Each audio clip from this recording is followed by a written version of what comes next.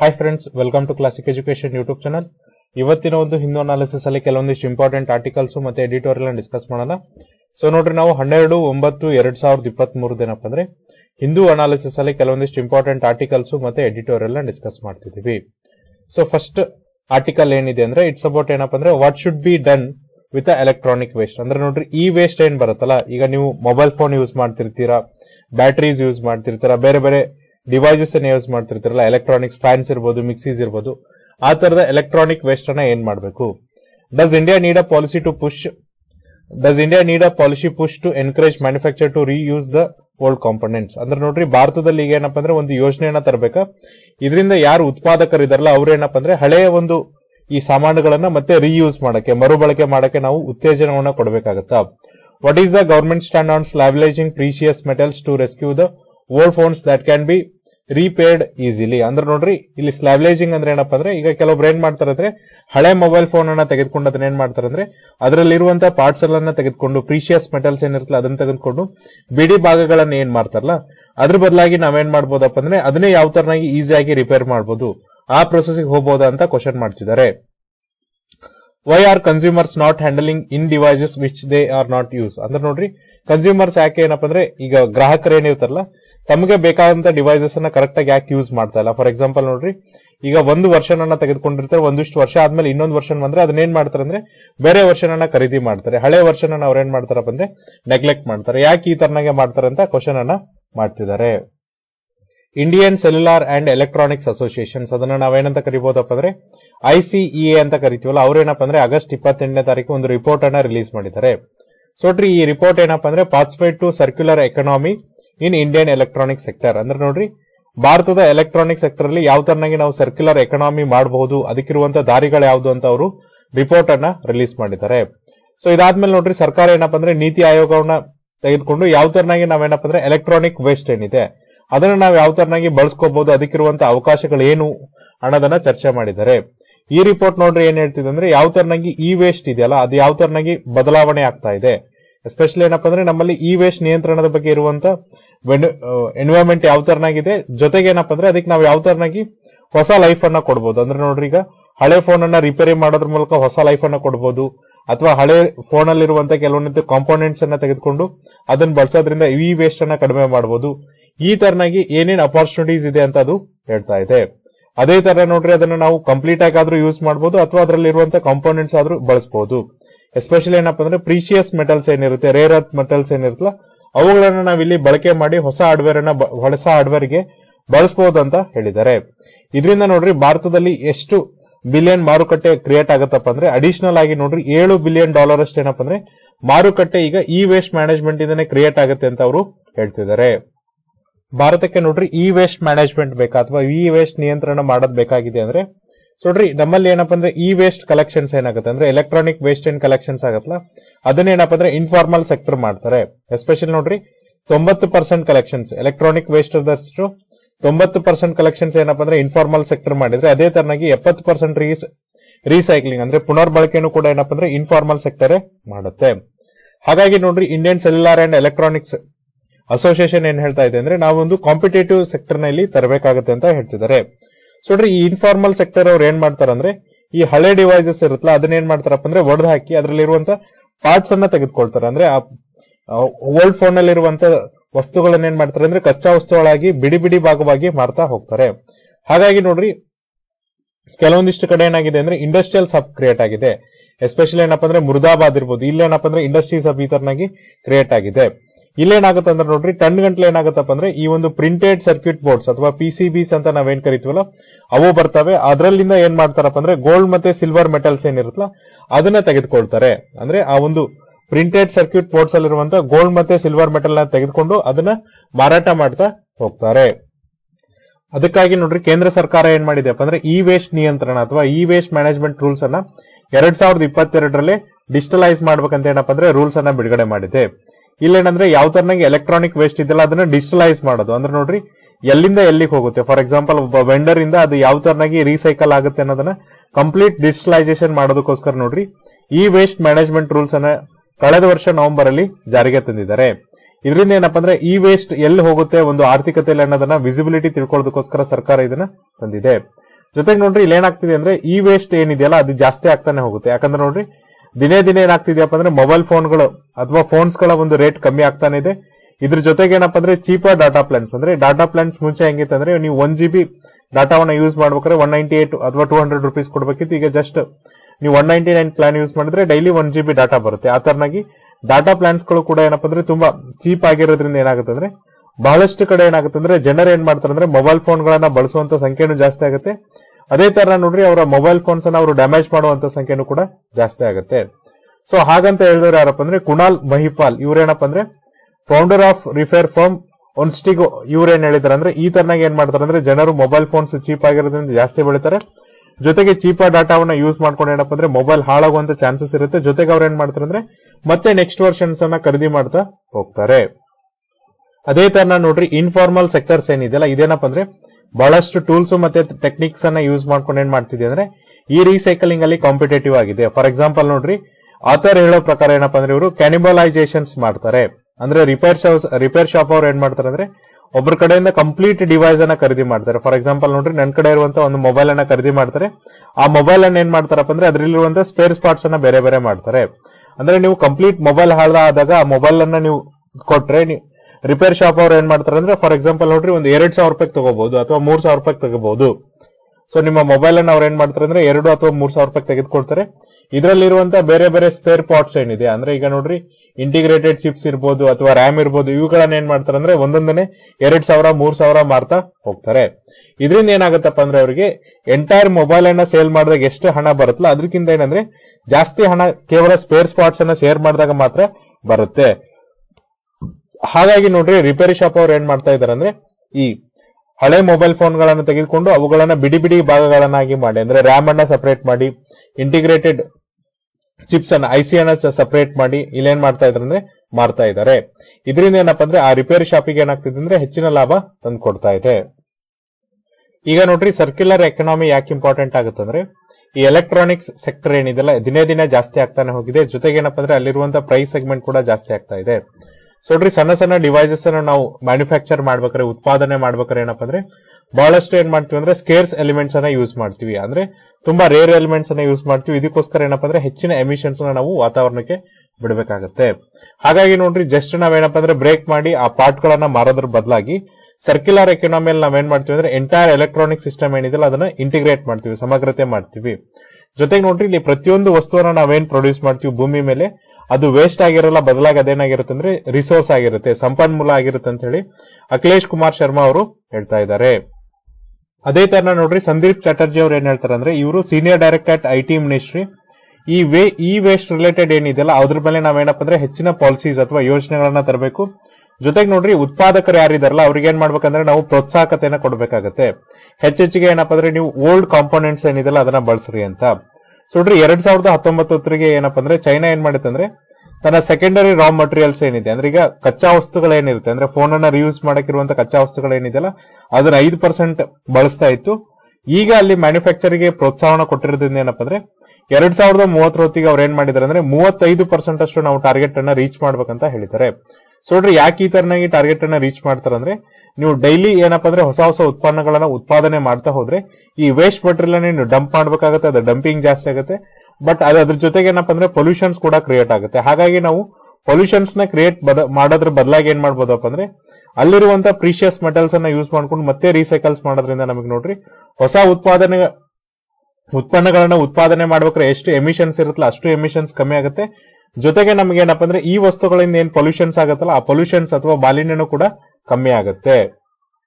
ಹಾಗಾದ್ರೆ ನಾವು ಈ ಅನ್ನ ಯಾವ ತರನಾಗಿ ರೀಸೈಕಲ್ ಮಾಡಬಹುದು ಅಂದ್ರೆ ನೋಡ್ರಿ ಐಸಿಎ ರಿಪೋರ್ಟ್ ಪ್ರಕಾರ ಏನಪ್ಪಾ ಅಂದ್ರೆ ನಾವೇನ್ ಮಾಡ್ಬೇಕಾಗತ್ತೆ ಅಂದ್ರೆ ಒಂದು ರಿವರ್ಸ್ ಸಪ್ಲೈ ಚೈನ್ ಅನ್ನ ಎಸ್ಟಾಬ್ಲಿಷ್ ಮಾಡ್ಬೇಕಾಗತ್ತೆ. ಸೊ ನೋಡ್ರಿ ರಿವರ್ಸ್ ಸಪ್ಲೈ ಚೈನ್ ಅಂದ್ರೆ ಏನಪ್ಪಾ ಅಂದ್ರೆ ಇಲ್ಲೇನ್ ಮಾಡೋದಂದ್ರೆ ಡಿವೈಸಸ್ ಏನಪ್ಪಾ ಅಂದ್ರೆ ಗ್ರಾಹಕರುಗಳಿಂದ ತೆಗೆದುಕೊಳ್ಳೋದು ಕಸ್ಟಮರ್ ಕಡೆಯಿಂದ ಡಿವೈಸಸ್ ಅನ್ನ ತೆಗೆದುಕೊಂಡು ಅವರ ಪರ್ಸನಲ್ ಡಾಟಾ ಏನಿದೆಲ್ಲ ಕಂಪ್ಲೀಟ್ ಆಗಿ ಕ್ಲೀನ್ ಮಾಡಿ, ಇದನ್ನೇನ್ ಮಾಡೋದಪ್ಪ ಅಂದ್ರೆ ಫರ್ದರ್ ಪ್ರೊಸೆಸಿಂಗ್ ಕೊಡೋದು. ಫಾರ್ ಎಕ್ಸಾಂಪಲ್ ನೋಡ್ರಿ ಒಂದ್ ಊರಲ್ಲಿ ಐವತ್ ಜನ ಏನಾದ್ರು ಮೊಬೈಲ್ ಅನ್ನ ರಿಪ್ಲೇಸ್ ಮಾಡ್ತಿದ್ರೆ ಅವ್ರ ಕಡೆಯಿಂದ ಮೊಬೈಲ್ ಅನ್ನ ಖರೀದಿ ಮಾಡಿ, ಅವರ ಒಂದು ಕಂಪ್ಲೀಟ್ ಪರ್ಸನಲ್ ಡಾಟಾ ಏನಿರುತ್ತೆ, ಅದನ್ನ ಏನ್ ಸೇವ್ ಮಾಡಿರ್ತಾರಲ್ಲ, ಅದನ್ನ ಕಂಪ್ಲೀಟ್ ಆಗಿ ಕ್ಲೀನ್ ಮಾಡಿ, ಅದನ್ನ ಮತ್ತೆ ಪ್ರೊಸೆಸಿಂಗ್ ಕೊಟ್ಟು ರೀಸೈಕಲ್ ಮಾಡೋದು. ಇದ್ರ ಜೊತೆಗೆ ನೋಡ್ರಿ, ಈ ರಿಪೋರ್ಟ್ ಏನ್ ಸಜೆಸ್ಟ್ ಮಾಡ್ತಾ ಹೋಗುತ್ತೆ ಅಂದ್ರೆ ನಾವೇನ್ ಮಾಡ್ಬೇಕಪ್ಪ ಅಂದ್ರೆ ಒಂದು ಆಡಿಟೇಬಲ್ ಡಾಟಾ ಬೇಸ್ ಅನ್ನ ಇಲ್ಲಿ ಮಟೀರಿಯಲ್ಸ್ ಗೋಸ್ಕರ ಸೆಟಪ್ ಮಾಡಬೇಕು. ಅಂದ್ರೆ ನೋಡ್ರಿ, ಯಾವ ಒಂದು ಜಿಯೋಗ್ರಫಿಕಲ್ ಏರಿಯಾದಲ್ಲಿ ಅಂದ್ರೆ ಯಾವ ಒಂದು ಪ್ಲೇಸಸ್ ಅಲ್ಲಿ ಏನಪ್ಪಾ ಅಂದ್ರೆ, ಈ ತರನಾಗಿ ರೀಸೈಕಲ್ ಜಾಸ್ತಿ ಆಗ್ತಾ ಇದೆ, ಅಥವಾ ಈ ತರನಾಗಿ ಏನಪ್ಪಾ ಅಂದ್ರೆ ಮೊಬೈಲ್ಸ್ಗಳ ಬ್ರೇಕ್ ಮಾಡಿ ಮಾರ್ತಾ ಇದ್ದಾರೆ. ಆ ಕ್ಲಸ್ಟರ್ಸ್ ಗಳನ್ನ ನಾವೇನ್ ಮಾಡ್ಬೇಕಂದ್ರೆ ಕ್ರಿಯೇಟ್ ಮಾಡ್ಬೇಕಾಗತ್ತೆ. ಸೊ ನೋಡ್ರಿ, ಇದರಿಂದ ಏನಾಗುತ್ತೆ ಅಂದ್ರೆ, ಅಲ್ಲಿ ಜಾಸ್ತಿ ಆಗ್ತಾ ಇದ್ರೆ ನಾವು ಅಲ್ಲೇ ಒಂದು ರೀಸೈಕ್ಲಿಂಗ್ ಪ್ಲಾಂಟ್ ಅನ್ನು ಕೂಡ ತೆಗಿಬಹುದಾಗಿದೆ. ಈ ಶಿಫಾರಸುಗಳೇನಿದೆಯಲ್ಲ, ಇವೇನಪ್ಪ ಅಂದ್ರೆ ಹೈ ಹಿಲ್ಡಿಂಗ್ ರೀಸೈಕ್ಲಿಂಗ್ ಸೆಂಟರ್ಸ್ ಅಂತ ನಾವು ಕರಿತೀವಿ. ಜೊತೆಗೆ ನೋಡ್ರಿ, ಈ ರೀಸೈಕಲ್ ಫೆಸಿಲಿಟೀಸ್ಗಳು ಇರುತ್ತಲ್ಲ, ಇವೇನಪ್ಪ ಅಂದ್ರೆ ಫುಲ್ ಪೊಟೆನ್ಶಿಯಲ್ ಇರಲ್ಲ. ಅಂದ್ರೆ ನೀವು ಹಂಡ್ರೆಡ್ ಪರ್ಸೆಂಟ್ ಆಗಿ ಎಲ್ಲಾನು ವಸ್ತುಗಳನ್ನು ಅಲ್ಲಿ ರೀಸೈಕಲ್ ಅಥವಾ ಪುನರ್ಬಳಕೆ ಮಾಡಲ್ಲ. ಫಾರ್ ಎಕ್ಸಾಂಪಲ್ ನೋಡ್ರಿ, ಇಲ್ಲೇನ್ ಹೇಳ್ತಾರೆ ಅಂದ್ರೆ, ಈಗ ಸೆಮಿ ಕಂಡಕ್ಟರ್ಸ್ನ ತೆಗೆದುಕೊಂಡ್ರೆ ಅಲ್ಲಿ ರೇರ್ ಅರ್ತ್ ಮೆಟೀರಿಯಲ್ಸ್ ಏನಿರುತ್ತೆ ಪ್ರೀಶಿಯಸ್ ಮೆಟೀರಿಯಲ್ಸ್ ಆದಂತ ರೇರ್ ಅರ್ತ್ ಮೆಟೀರಿಯಲ್ಸ್ ಏನಿರುತ್ತಲ್ಲ, ಅವುಗಳನ್ನ ಎಕ್ಸ್ಟ್ರಾಕ್ಟ್ ಮಾಡಕ್ಕೆ ನಿಮ್ಗೆ ಸಾಧ್ಯ ಆಗಲ್ಲ. ಯಾಕಂದ್ರೆ ಅವು ತುಂಬಾ ಮೈನ್ಯೂಟ್ ಆಗಿರುತ್ತೆ. ಈ ತರನಾಗಿ ಕಂಪ್ಲೀಟ್ ಆಗಿ ಏನಪ್ಪ ಅಂದ್ರೆ ರೀಸೈಕಲ್ ಪ್ಲಾಂಟ್ ಕೂಡ ಏನಂದ್ರೆ ಹಂಡ್ರೆಡ್ ಪರ್ಸೆಂಟ್ ಪೊಟೆನ್ಶಿಯಲ್ ಆಗಿಲ್ಲ ಅಂತ ಹೇಳ್ತಿದ್ದಾರೆ. ಜೊತೆಗೆ ನೋಡ್ರಿ ಐ ಟಿ ಮಿನಿಸ್ಟರ್ ಏನಪ್ಪ ಅಂದ್ರೆ ಈ ಸ್ಕೀಮ್ ಅನ್ನ ಕಳೆದ ವರ್ಷ ಏಪ್ರಿಲ್ ಅಲ್ಲಿ ಲಾಂಚ್ ಮಾಡ್ತಾರೆ. ಇದ್ರಲ್ಲಿ ಏನಪ್ಪ ಅಂದ್ರೆ ಇಪ್ಪತ್ತೈದು ಪರ್ಸೆಂಟ್ ಕ್ಯಾಪಿಟಲ್ ಎಕ್ಸ್ಪೆಂಡಿಚರ್ ಏನಿದೆಯಲ್ಲ, ಅದನ್ನ ಈ ತರದ ಫೆಸಿಲಿಟಿ ಕೊಡ್ಬೇಕಂತ ಅವರು ನಿರ್ಧಾರ ತೆಗೆದುಕೊಂಡಿದ್ದಾರೆ. ಇದ್ರ ಜೊತೆಗೆ ನೋಡ್ರಿ, ನಾವು ಜಸ್ಟ್ ಏನಪ್ಪ ಅಂದ್ರೆ ರಿಪೇರ್ ಮಾಡೋದು, ಜೊತೆಗೆ ಏನಪ್ಪ ಅಂದ್ರೆ ಪ್ರಾಡಕ್ಟ್ ಗಳನ್ನ ಜಾಸ್ತಿ ಡ್ಯೂರೇಷನ್ಸ್ ಒಳಗೆ ಬಳಸೋದು, ಜೊತೆ ಜೊತೆಗೆ ಏನಪ್ಪ ಅಂದ್ರೆ ಈ ವಸ್ತುಗಳನ್ನ ಗ್ರಾಹಕರೇ ಏನಾದ್ರೂ ರಿಪೇರ್ ಮಾಡಂಗಿದ್ರೆ ಅಲ್ಲಿ ಏನಾಗತ್ತಪ್ಪ ಅಂದ್ರೆ ಇನ್ನೂ ಕೂಡ ಹೆಚ್ಚಿನ ಕಾಲಾವಧಿಗೆ ಅವರು ಬಳಸಬಹುದು ಈ ತರದ ಪಾಲಿಸಿ ರೆಕಮೆಂಡೇಶನ್ಸ್ನ ಕೊಟ್ಟಿದ್ದಾರೆ. ಇದರಿಂದ ನೋಡ್ರಿ ಎಲೆಕ್ಟ್ರಾನಿಕ್ ವೇಸ್ಟ್ ಇಂದ ಇಲ್ಲಿ ವಾತಾವರಣಕ್ಕಾಗುವಂತಹ ತೊಂದರೆಗಳೇನಿದೆಯಲ್ಲ, ಅವುಗಳು ಕಡಿಮೆ ಆಗ್ತಾ ಹೋಗುತ್ತೆ. ಅಂದ್ರೆ ನೋಡ್ರಿ ಎನ್ವೈರ್ಮೆಂಟಲ್ ಬರ್ಡನ್ ಏನಿರುತ್ತೆ, ಈ ತರನಾಗಿ ಈ ವೇಸ್ಟ್ ಜನರೇಟ್ ಆಗೋದ್ರಿಂದ ಎನ್ವೈರ್ಮೆಂಟಲ್ ಬರ್ಡನ್ ಏನಿರುತ್ತಲ್ಲ, ಅದು ಕಮ್ಮಿ ಆಗ್ತಾ ಹೋಗುತ್ತೆ. ಹಾಗಾದ್ರೆ ಇಲ್ಲಿರುವಂತ ಸವಾಲುಗಳು ಏನಪ್ಪಾ ಅಂದ್ರೆ ಫಸ್ಟ್ ಆಫ್ ಆಲ್ ನೋಡ್ರಿ, ಈ ಒಂದು ಸೆಕ್ಟರ್ ಏನಿದೆ, ಈ ವೇಸ್ಟ್ ರೀಸೈಕ್ಲಿಂಗ್ ಸೆಕ್ಟರ್ ಏನಿದೆ ಅಂದ್ರೆ ಇನ್ಫಾರ್ಮಲ್ ಸೆಕ್ಟರ್ ಆಗಿದೆ. ಸೊ ಇಲ್ಲಿ ಯಾವುದೇ ತರನಾಗಿ ಅವ್ರಿಗೆ ಏನಪ್ಪಾ ಅಂದ್ರೆ ವಾತಾವರಣದ ಬಗ್ಗೆ ಯಾವುದೇ ತರನಂತ ಕಾಳಜಿ ಇರಲ್ಲ. ಅಂದ್ರೆ ಇನ್ಫಾರ್ಮಲ್ ಸೆಕ್ಟರ್ ಯೂಸ್ ಮಾಡೋರು ಏನ್ ಮಾಡ್ತಾರೆ ಅಂದ್ರೆ ಅಷ್ಟು ಸ್ಕಿಲ್ಡ್ ಆಗಿರಲ್ಲ. ಜೊತೆಗೆ ಏನಪ್ಪಾ ಅಂದ್ರೆ ಅವ್ರಿಗೆ ಅಷ್ಟು ಎಜುಕೇಶನ್ ಇಲ್ಲದೆ ಇರೋದ್ರಿಂದ ವಾತಾವರಣದ ಬಗ್ಗೆ ಅವರು ಜಾಸ್ತಿ ತಲೆ ಕೆಡಿಸ್ಕೊಳ್ಳಲ್ಲ. ಇದ್ರ ಜೊತೆಗೆ ಏನಪ್ಪಾ ಅಂದ್ರೆ ಇನ್ನೂ ಕೂಡ ಕೆಲವೊಂದಿಷ್ಟು ಸವಾಲುಗಳಿದೆ. ನೋಡ್ರಿ, ಪ್ರತಿ ವರ್ಷ ಏನಾಗುತ್ತೆ ಅಂದ್ರೆ ಎರಡ್ನೂರು ಮಿಲಿಯನ್ ಡಿವೈಸಸ್ ಏನಿದೆಯಲ್ಲ, ಇವು ಗ್ರಾಹಕರ ಮನೆಗಳಲ್ಲೇ ಉಳಿದ್ ಬಿಡ್ತವೆ ಸೊ ನೋಡ್ರಿ, ಎರಡ್ನೂರು ಮಿಲಿಯನ್ ಡಿವೈಸಸ್ ಅಂದ್ರೆ ಇಪ್ಪತ್ತು ಕೋಟಿ ಮೊಬೈಲ್ಗಳು ಏನಾಗುತ್ತವೆ ಅಂದ್ರೆ ಗ್ರಾಹಕರ ಮನೆಯಲ್ಲೇ ಉಳಿದ್ ಬಿಡ್ತವೆ ಅವ್ರಿಗೆ ಏನಪ್ಪಾ ಅಂದ್ರೆ ಈ ತರನಾಗಿ ರೀಸೈಕಲಿಂಗ್ ಫೆಸಿಲಿಟಿ ಬಗ್ಗೆ ಅವ್ರಿಗೆ ಗೊತ್ತಿರಲ್ಲ. ಅಂದ್ರೆ ಅವರು ಒಂದ್ಸರಿ ಮೊಬೈಲ್ ಯೂಸ್ ಮಾಡೋದನ್ನ ನಿಲ್ಲಿಸ್ಬಿಟ್ರೆ ಅವ್ರು ಅದನ್ನೇನ್ ಮಾಡ್ತಾರೆ ಅಂದ್ರೆ ಮನೆಯಲ್ಲೇ ಇಡ್ತಾರೆ. ಬದಲಾಗಿ ಈ ತರನಾಗಿ ರೀಸೈಕಲ್ ಮಾಡಬಹುದು ಅನ್ನೋ ಫೆಸಿಲಿಟಿ ಅವ್ರಿಗೆ ಗೊತ್ತಿರಲ್ಲ. ಅದೇ ತರ ನೋಡ್ರಿ ಸಂದೀಪ್ ಸಿಂಗ್ ಅವರು, ಇವರು ಒಬ್ಬರು ಎಕ್ಸಿಕ್ಯೂಟಿವ್ ಆಗಿ ಕೆಲಸ ಮಾಡ್ತಾರೆ. ಇವರು ತಮ್ಮ I C E A report ಅಲ್ಲಿ ಏನ್ ಹೇಳಿದ್ದಾರೆ ಅಂದ್ರೆ ಬಹಳಷ್ಟು ಪೀಪಲ್ ಅಥವಾ ಬಹಳಷ್ಟು ಜನರು ಯಾವ್ದ್ರ ಬಗ್ಗೆ ಜಾಸ್ತಿ ಕಾಳಜಿಯನ್ನ ವಹಿಸ್ತಾರೆ ಅಂದ್ರೆ ನಾವೇನಾದ್ರೂ ರೀಸೈಕಲ್ಗೆ ಈ ತರನಾಗಿ ಡಿವೈಸಸ್ ಅನ್ನ ಕೊಟ್ರೆ ನಮ್ಮ ಪರ್ಸನಲ್ ಡಾಟಾ ಆ ಡಿವೈಸಸ್ ಮೇಲೆ ಏನಿರುತ್ತೆ ಅಥವಾ ಆ ಮೊಬೈಲ್ಗಳಲ್ಲಿ ಏನಿರುತ್ತೆ ಅದೇನಾಗುತ್ತೆ? ಅದು ಕಂಪ್ಲೀಟ್ ಆಗಿ ಅಳ್ಸಾಕತ್ತಾ ಅಥವಾ ಅದು ಅದೇ ತರನಾಗಿರುತ್ತೆ ಅನ್ನೋದು ಒಂದು ಕನ್ಸರ್ನ್ ಆಗಿದೆ. ಅಂದ್ರೆ ನೋಡ್ರಿ, ಪ್ರತಿಯೊಬ್ಬರಿಗೂ ಕೂಡ ಏನಪ್ಪಾ ಅಂದ್ರೆ ಪ್ರೈವೇಸಿ ಅನ್ನೋದು ತುಂಬಾ ಇಂಪಾರ್ಟೆಂಟ್ ಈಗ ಫಾರ್ ಎಕ್ಸಾಂಪಲ್ ನನ್ನ ಹತ್ರ ಮೊಬೈಲ್ ಇದೆ, ನಾನು ಅದನ್ನ ಯೂಸ್ ಮಾಡ್ತಾ ಇಲ್ಲ ರೀಸೈಕಲಿಂಗ್ ಕೊಟ್ಟಂದ್ರೆ ಅದರಲ್ಲಿರುವಂತ ಪರ್ಸನಲ್ ಡಾಟಾ ಕಂಪ್ಲೀಟ್ ಆಗಿ ಅಳ್ಸಾಕತ್ತೋ ಇಲ್ಲೋ ಅನ್ನೋದು ಒಂದು ನಮಗೆ ಯಕ್ಷ ಪ್ರಶ್ನೆ ಆಗಿರುತ್ತೆ. ಯಾಕಂದ್ರೆ ಕಂಪ್ಲೀಟ್ ಆಗಿ ಮೊಬೈಲ್ ಡಾಟಾ ಅಳ್ಸಾಕಿ ಪರ್ಸನಲ್ ಡಾಟಾವನ್ನು ಅಳ್ಸಾಕಿದ್ರೆ ಮಾತ್ರ ಏನಪ್ಪಾ ಅದನ್ನ ರೀಸೈಕಲ್ ಮಾಡೋದಕ್ಕೂ ಈಸಿ ಮತ್ತೆ ಫರ್ದರ್ ಸೇಲ್ ಮಾಡೋದಕ್ಕೂ ಕೂಡ ಈಸಿ ಆಗುತ್ತೆ.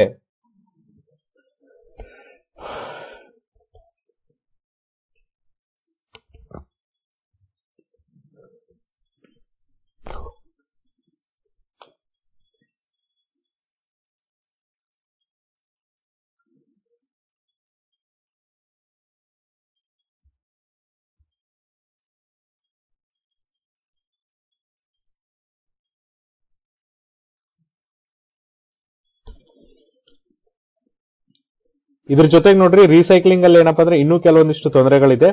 ರೀಸೈಕ್ಲಿಂಗ್ ಪ್ಲಾಂಟ್ಸ್ ಏನ್ ಮಾಡ್ತಾವ ಅಂದ್ರೆ ದೊಡ್ಡ ದೊಡ್ಡ ಸ್ಕೇಲ್ ಅಲ್ಲಿ ಹಾಕ್ಬೇಕಂತಾರೆ. ಅದಕ್ಕೋಸ್ಕರ ಏನಪ್ಪಾ ಅಂದ್ರೆ ಇನಿಷಿಯಲ್ ಕ್ಯಾಪಿಟಲ್ ಕಾಸ್ಟ್ ಮಾತ್ರ ಬೇಕಾಗಲ್ಲ, ಬದಲಾಗಿ ಏನಪ್ಪಾ ಅಂದ್ರೆ ಮಟೀರಿಯಲ್ಸ್ ಅಂದ್ರೆ ರಾ ಮಟೀರಿಯಲ್ ಏನಿದಿಲ್ಲ ಅದು ಕೂಡ ಒಂದು ಸವಾಲಾಗುತ್ತೆ. ಎಸ್ಪೆಷಲಿ ನೋಡ್ರಿ, ಆರ್ಥಿಕ ಅಭಿವೃದ್ಧಿ ಆಗ್ಬೇಕಾದ್ರೆ ರಾ ಮಟೀರಿಯಲ್ ಬೇಕಾಗತ್ತಲ್ಲ. ಈಗ ಎಲ್ಲಿಂದ ರಾ ಮಟೀರಿಯಲ್ ತರ್ತಾರೆ, ಅದು ಕ್ವಶನ್ ಆಗಿದೆ. ಸೊ ಅದಕ್ಕೋಸ್ಕರ ನೋಡ್ರಿ ಡಾಕ್ಟರ್ ಚಟರ್ಜಿ ಅವರು ಹೇಳ್ತಿದ್ದಾರೆ ಅಂದ್ರೆ, ಎಲ್ಲಿಂದ ರಾ ಮಟೀರಿಯಲ್ ತರ್ತೀರಾ? ಎರಡು ಬಿಗ್ ಫಾರ್ಮ್ಸ್ ಏನಪ್ಪಾ ಅಂದ್ರೆ ಭಾರತದಲ್ಲಿ ಏನು ಹೂಡಿಕೆ ಮಾಡಕ್ ಬಂದ್ರಲ್ಲ ಅವರು ರೀಸೈಕ್ಲಿಂಗ್ ಪ್ಲಾಂಟ್ಸ್ ಅಲ್ಲಿ ಹೂಡಿಕೆ ಮಾಡಕ್ ಬಂದ್ರು ಬಟ್ ಅವರಿಗೆ ಯಾವುದೇ ತರನಾಗಿ ರಾ ಮೆಟೀರಿಯಲ್ಸ್ ಬಗ್ಗೆ ನಾಲೆಜ್ ಇಲ್ಲ.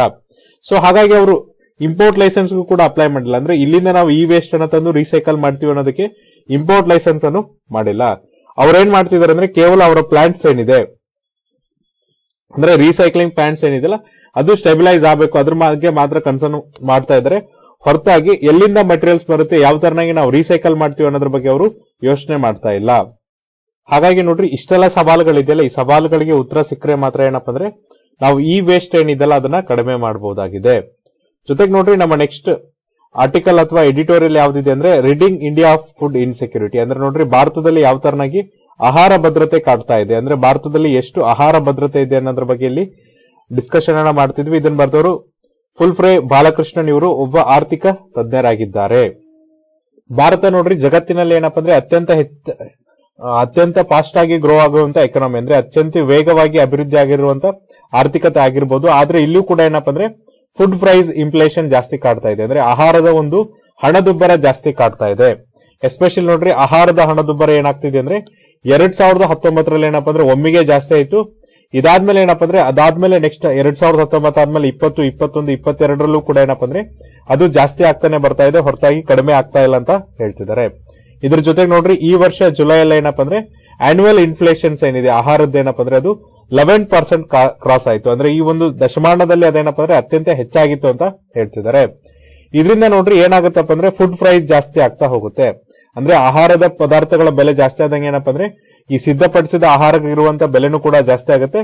ಇದರಿಂದ ಕೆಲವೊಂದಿಷ್ಟು ಸೆಕ್ಷನ್ ಆಫ್ ಪಾಪ್ಯುಲೇಷನ್ಸ್ ಏನಿರುತ್ತೆ. ಫಾರ್ ಎಕ್ಸಾಂಪಲ್ ನೋಡ್ರಿ ಕೆಲವೊಬ್ರು ಏನಪ್ಪ ಅಂದ್ರೆ ದಿನಗೂಲಿ ನೌಕರು ಇರ್ತಾರೆ ಅಥವಾ ಬೇರೆ ಕೆಲಸ ಮಾಡೋರು ಇರ್ತಾರೆ, ಅವ್ರಿಗೆ ಏನಪ್ಪಾ ಅಂದ್ರೆ ಒಳ್ಳೆ ಆಹಾರವನ್ನ ತೆಗೆದುಕೊಳ್ಳೋದು ಅಥವಾ adequate nutritions value food so ನೋಡ್ರಿ, ನಾವು ಹೊಟ್ಟೆ ತುಂಬಾ ಊಟ ಮಾಡ್ತೀವಿ, ಅದು ನ್ಯೂಟ್ರಿಷನ್ಸ್ ಆಗಿರುತ್ತೋ ಇಲ್ಲೋ ಅನ್ನೋದು ಇಂಪಾರ್ಟೆಂಟ್ ಆದ್ರೆ ತುಂಬಾ ಪೋಷಕಾಂಶವಿಂದ, ಪೋಷಕಾಂಶ ಭರಿತವಾದಂತ ಹೊಟ್ಟೆ ತುಂಬಾ ಆಹಾರ ಊಟ ಮಾಡುವಂತದ್ದು ಏನಪ್ಪಾ ಅಂದ್ರೆ ಕೆಲವೊಂದಿಷ್ಟು ಸೆಕ್ಷನ್ಸ್ ಏನಾಗುತ್ತೆ ಅಂದ್ರೆ ಇಲ್ಲಿ ತೊಂದರೆ ಆಗ್ತಾ ಹೋಗ್ತಾ ಇದೆ.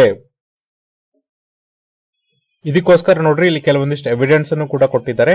ಎಸ್ಪೆಷಲಿ ಏನಪ್ಪಾ ಅಂದ್ರೆ state of food security and nutritions ಇದನ್ನೇನಪ್ಪ ಅಂದ್ರೆ ಫುಡ್ ಅಂಡ್ ಅಗ್ರಿಕಲ್ಚರ್ ಆರ್ಗನೈಸೇಷನ್ಸ್ ಏನಿದೆಲ್ಲ ಅವರು ಒಂದು ವರದಿಯನ್ನ ಮಾಡ್ತಾರೆ. ಯಾವ್ದಪ್ಪ ಅಂದ್ರೆ state of food security and nutritions in the world ಇವರ ಒಂದು ಎಸ್ಟಿಮೇಟ್ ಪ್ರಕಾರ ಏನಪ್ಪ ಅಂದ್ರೆ ಎಲ್ಲಾ ದೇಶಗಳಲ್ಲಿ ಏನಪ್ಪ ಅಂದ್ರೆ ಕೆಲವೊಂದಿಷ್ಟು ಪ್ರಪೋರ್ಷನ್ ಆಫ್ ಪಾಪ್ಯುಲೇಷನ್ಸ್ ಅಂದ್ರೆ ನೋಡ್ರಿ, ಜನಸಂಖ್ಯೆಯಲ್ಲಿ ಕೆಲವೊಂದಿಷ್ಟು ಜನರಿಗೆ ಏನಪ್ಪ ಅಂದ್ರೆ ಒಂದು ಹೆಲ್ದಿ ಡಯಟ್ ಅಥವಾ ಆರೋಗ್ಯಕರವಾದಂತಹ ಊಟವನ್ನು ಅಫೋರ್ಡ್ ಮಾಡೋದಕ್ಕೆ ಅವರಿಗೆ ಸಾಧ್ಯವಾಗ್ತಾ ಇಲ್ಲ.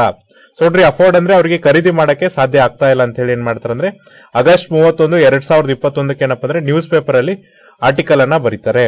ನೋಡ್ರಿ ಇವರು ಭಾರತಕ್ಕೆ ಬರೀಬೇಕಾದ್ರೆ ಏನಪ್ಪಾ ಅಂದ್ರೆ, ಭಾರತದಲ್ಲಿ ನೋಡ್ರಿ ಎರಡ್ ಸಾವಿರದ ಇಪ್ಪತ್ತೊಂದರಲ್ಲಿ ಏನಪ್ಪಾ ಅಂದ್ರೆ, ಈ ಒಂದು ಪರ್ಸೆಂಟೇಜ್ ಎಷ್ಟಿರುತ್ತಂದ್ರೆ ನಮ್ಮ ಒಟ್ಟು ಜನಸಂಖ್ಯೆಯಲ್ಲಿ ಏನಪ್ಪಾ ಅಂದ್ರೆ ಎಪ್ಪತ್ನಾಲ್ಕು ಪರ್ಸೆಂಟ್ ಜನರಿಗೆ, ಅಂದ್ರೆ ಒಟ್ಟು ಜನಸಂಖ್ಯೆಯಲ್ಲಿ ಎಪ್ಪತ್ನಾಲ್ಕು ಪರ್ಸೆಂಟ್ ಜನರಿಗೆ ಏನಪ್ಪಾ ಅಂದ್ರೆ, ಒಂದು ಹೆಲ್ತಿ ಡಯಟ್ ಅನ್ನ, ಅಂದ್ರೆ ಒಂದು ಆರೋಗ್ಯಕರವಾಗಿರುವಂತಹ ಡಯಟ್ ಅನ್ನ ಅಫೋರ್ಡ್ ಮಾಡಕ್ಕೆ ಆಗ್ತಾ ಇಲ್ಲ ಅಂತ ಹೇಳ್ತಿದ್ದಾರೆ. ಸೊಡ್ರಿ ನೋಡ್ರಿ ಒಟ್ಟು ಜನಸಂಖ್ಯೆ ಅಂದ್ರೆ ನಾವು ಒಟ್ಟು ನೂರ ನಲವತ್ತು ಕೋಟಿ ಜನ ಇದೀವಿ ಅದರಲ್ಲಿ ಅಪ್ರಾಕ್ಸಿಮೇಟ್ಲಿ ಸೆವೆಂಟಿ ಪರ್ಸೆಂಟ್ ಅಂದ್ರೆ ಏನಪ್ಪ ಅಂದ್ರೆ ನೂರು ಕೋಟಿ ಭಾರತೀಯರಿಗೆ ಏನಿಗೆ ಏನಾಗ್ತಾ ಇಲ್ಲ ಅಂದ್ರೆ ಆ ಒಂದು ಆರೋಗ್ಯಕರವಾದಂತ ಆಹಾರವನ್ನ ಏನಪ್ಪ ಅಂದ್ರೆ ಅಫೋರ್ಡೆಬಲ್ ಮಾಡಕ್ ಆಗ್ತಾ ಇಲ್ಲ ಅಂತ ಅವರು ಹೇಳ್ತಾ ಇದ್ದಾರೆ.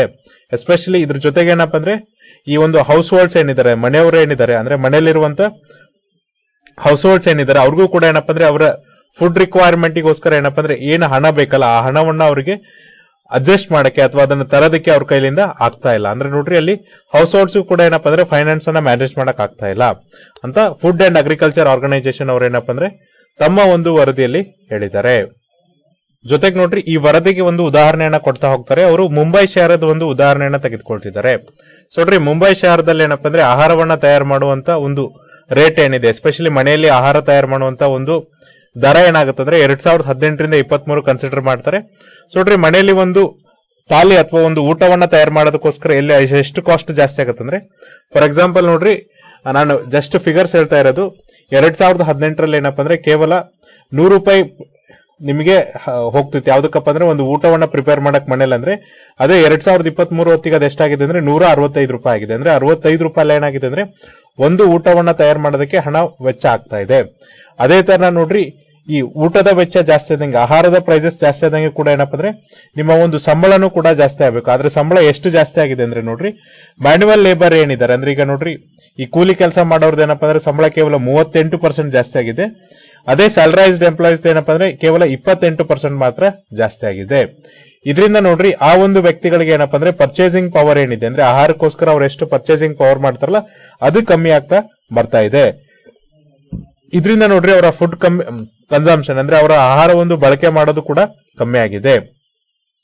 ಇದನ್ನ ನಾವೇನ್ ಮಾಡ್ಬೋದಪ್ಪ ಅಂದ್ರೆ ಒಂದು ರಿಪೋರ್ಟ್ ಏನಿದೆ ಎಸ್ಪೆಷಲಿ ಏನಪ್ಪ ಅಂದ್ರೆ ಅನೇಮಿಯಾ ಪ್ರಿವಿಲೆನ್ಸ್ ಅಂದ್ರೆ ನೋಡ್ರಿ ಅನೇಮಿಯಾ ಇರುವಂತ ಒಂದು ರಿಪೋರ್ಟ್ ಏನಿದೆ, ವರದಿ ಏನಿದೆ, ಅದ್ರ ಜೊತೆಗೆ ನಾವು ಕಂಪ್ಯಾರಿಸನ್ ಮಾಡಬಹುದು ಸೊ ನೋಡ್ರಿ, ಈ ವರದಿ ಏನ್ ಬಂದಿದೆಯಪ್ಪ ಅಂದ್ರೆ ಅನೇಮಿಯಾ ಯಾಕೆ ಬರುತ್ತೆ, ರಕ್ತಹೀನತೆ ಯಾಕೆ ಬರುತ್ತೆ ಅಂದ್ರೆ ಕರೆಕ್ಟ್ ಆಗಿ ಒಬ್ಬ ವಯಸ್ಕ ಹೆಣ್ಮಗಳಾಗಿರ್ಬೋದು ಅಥವಾ ವಯಸ್ಕ ಮನುಷ್ಯ ಆಗಿರ್ಬೋದು ತುಂಬಾ ಪೋಷಕಾಂಶ ಭರಿತವಾದಂತ ಆಹಾರವನ್ನ ತೆಗೆದುಕೊಳ್ಳಿಲ್ಲ ಅಂದ್ರೆ ಅವನಿಗೆ ರಕ್ತಹೀನತೆ ಉಂಟಾಗುತ್ತೆ. ಸೊ ನೋಡ್ರಿ ನ್ಯಾಷನಲ್ ಫ್ಯಾಮಿಲಿ ಹೆಲ್ತ್ ಸರ್ವೆ ಪ್ರಕಾರ ಏನಪ್ಪಾ ಅಂದ್ರೆ ಎರಡ್ ಸಾವಿರದ ಹತ್ತೊಂಬತ್ತು ಇಪ್ಪತ್ ಎರಡ್ ಸಾವಿರದ ಹತ್ತೊಂಬತ್ತು ಇಪ್ಪತ್ತೊಂದರ ಪ್ರಕಾರ ಏನಪ್ಪಾ ಅಂದ್ರೆ ಐವತ್ತು ಪರ್ಸೆಂಟ್ ನಮ್ಮ ದೇಶದಲ್ಲಿರುವಂತ ಅಡಲ್ಟ್ಸ್ ವುಮೆನ್ಸ್ ಏನಿದ್ದಾರೆ, ಅಂದ್ರೆ ವಯಸ್ಕ ಹೆಣ್ಮಕ್ಳು ಏನಿದಾರಲ್ಲ, ಅವರು ರಕ್ತಹೀನತೆ ಆಗಿದ್ದಾರೆ ಅಂದ್ರೆ ರಕ್ತಹೀನತೆಯಿಂದ ಕೂಡಿದ್ದಾರೆ ಅಂತ ಹೇಳ್ತಿದ್ದಾರೆ. ನೋಡ್ರಿ ನಮ್ಮ ದೇಶದಲ್ಲಿ ಎಷ್ಟೇ ಹೆಣ್ಮಕ್ಳು ಇದಾರಲ್ಲ ಅದರಲ್ಲಿ ಐವತ್ ಪರ್ಸೆಂಟ್ ಹೆಣ್ಮಕ್ಳು ಏನಪ್ಪ ಅಂದ್ರೆ ರಕ್ತಹೀನತೆಯಿಂದ ಬಳಲ್ತಾ ಇದ್ದಾರೆ.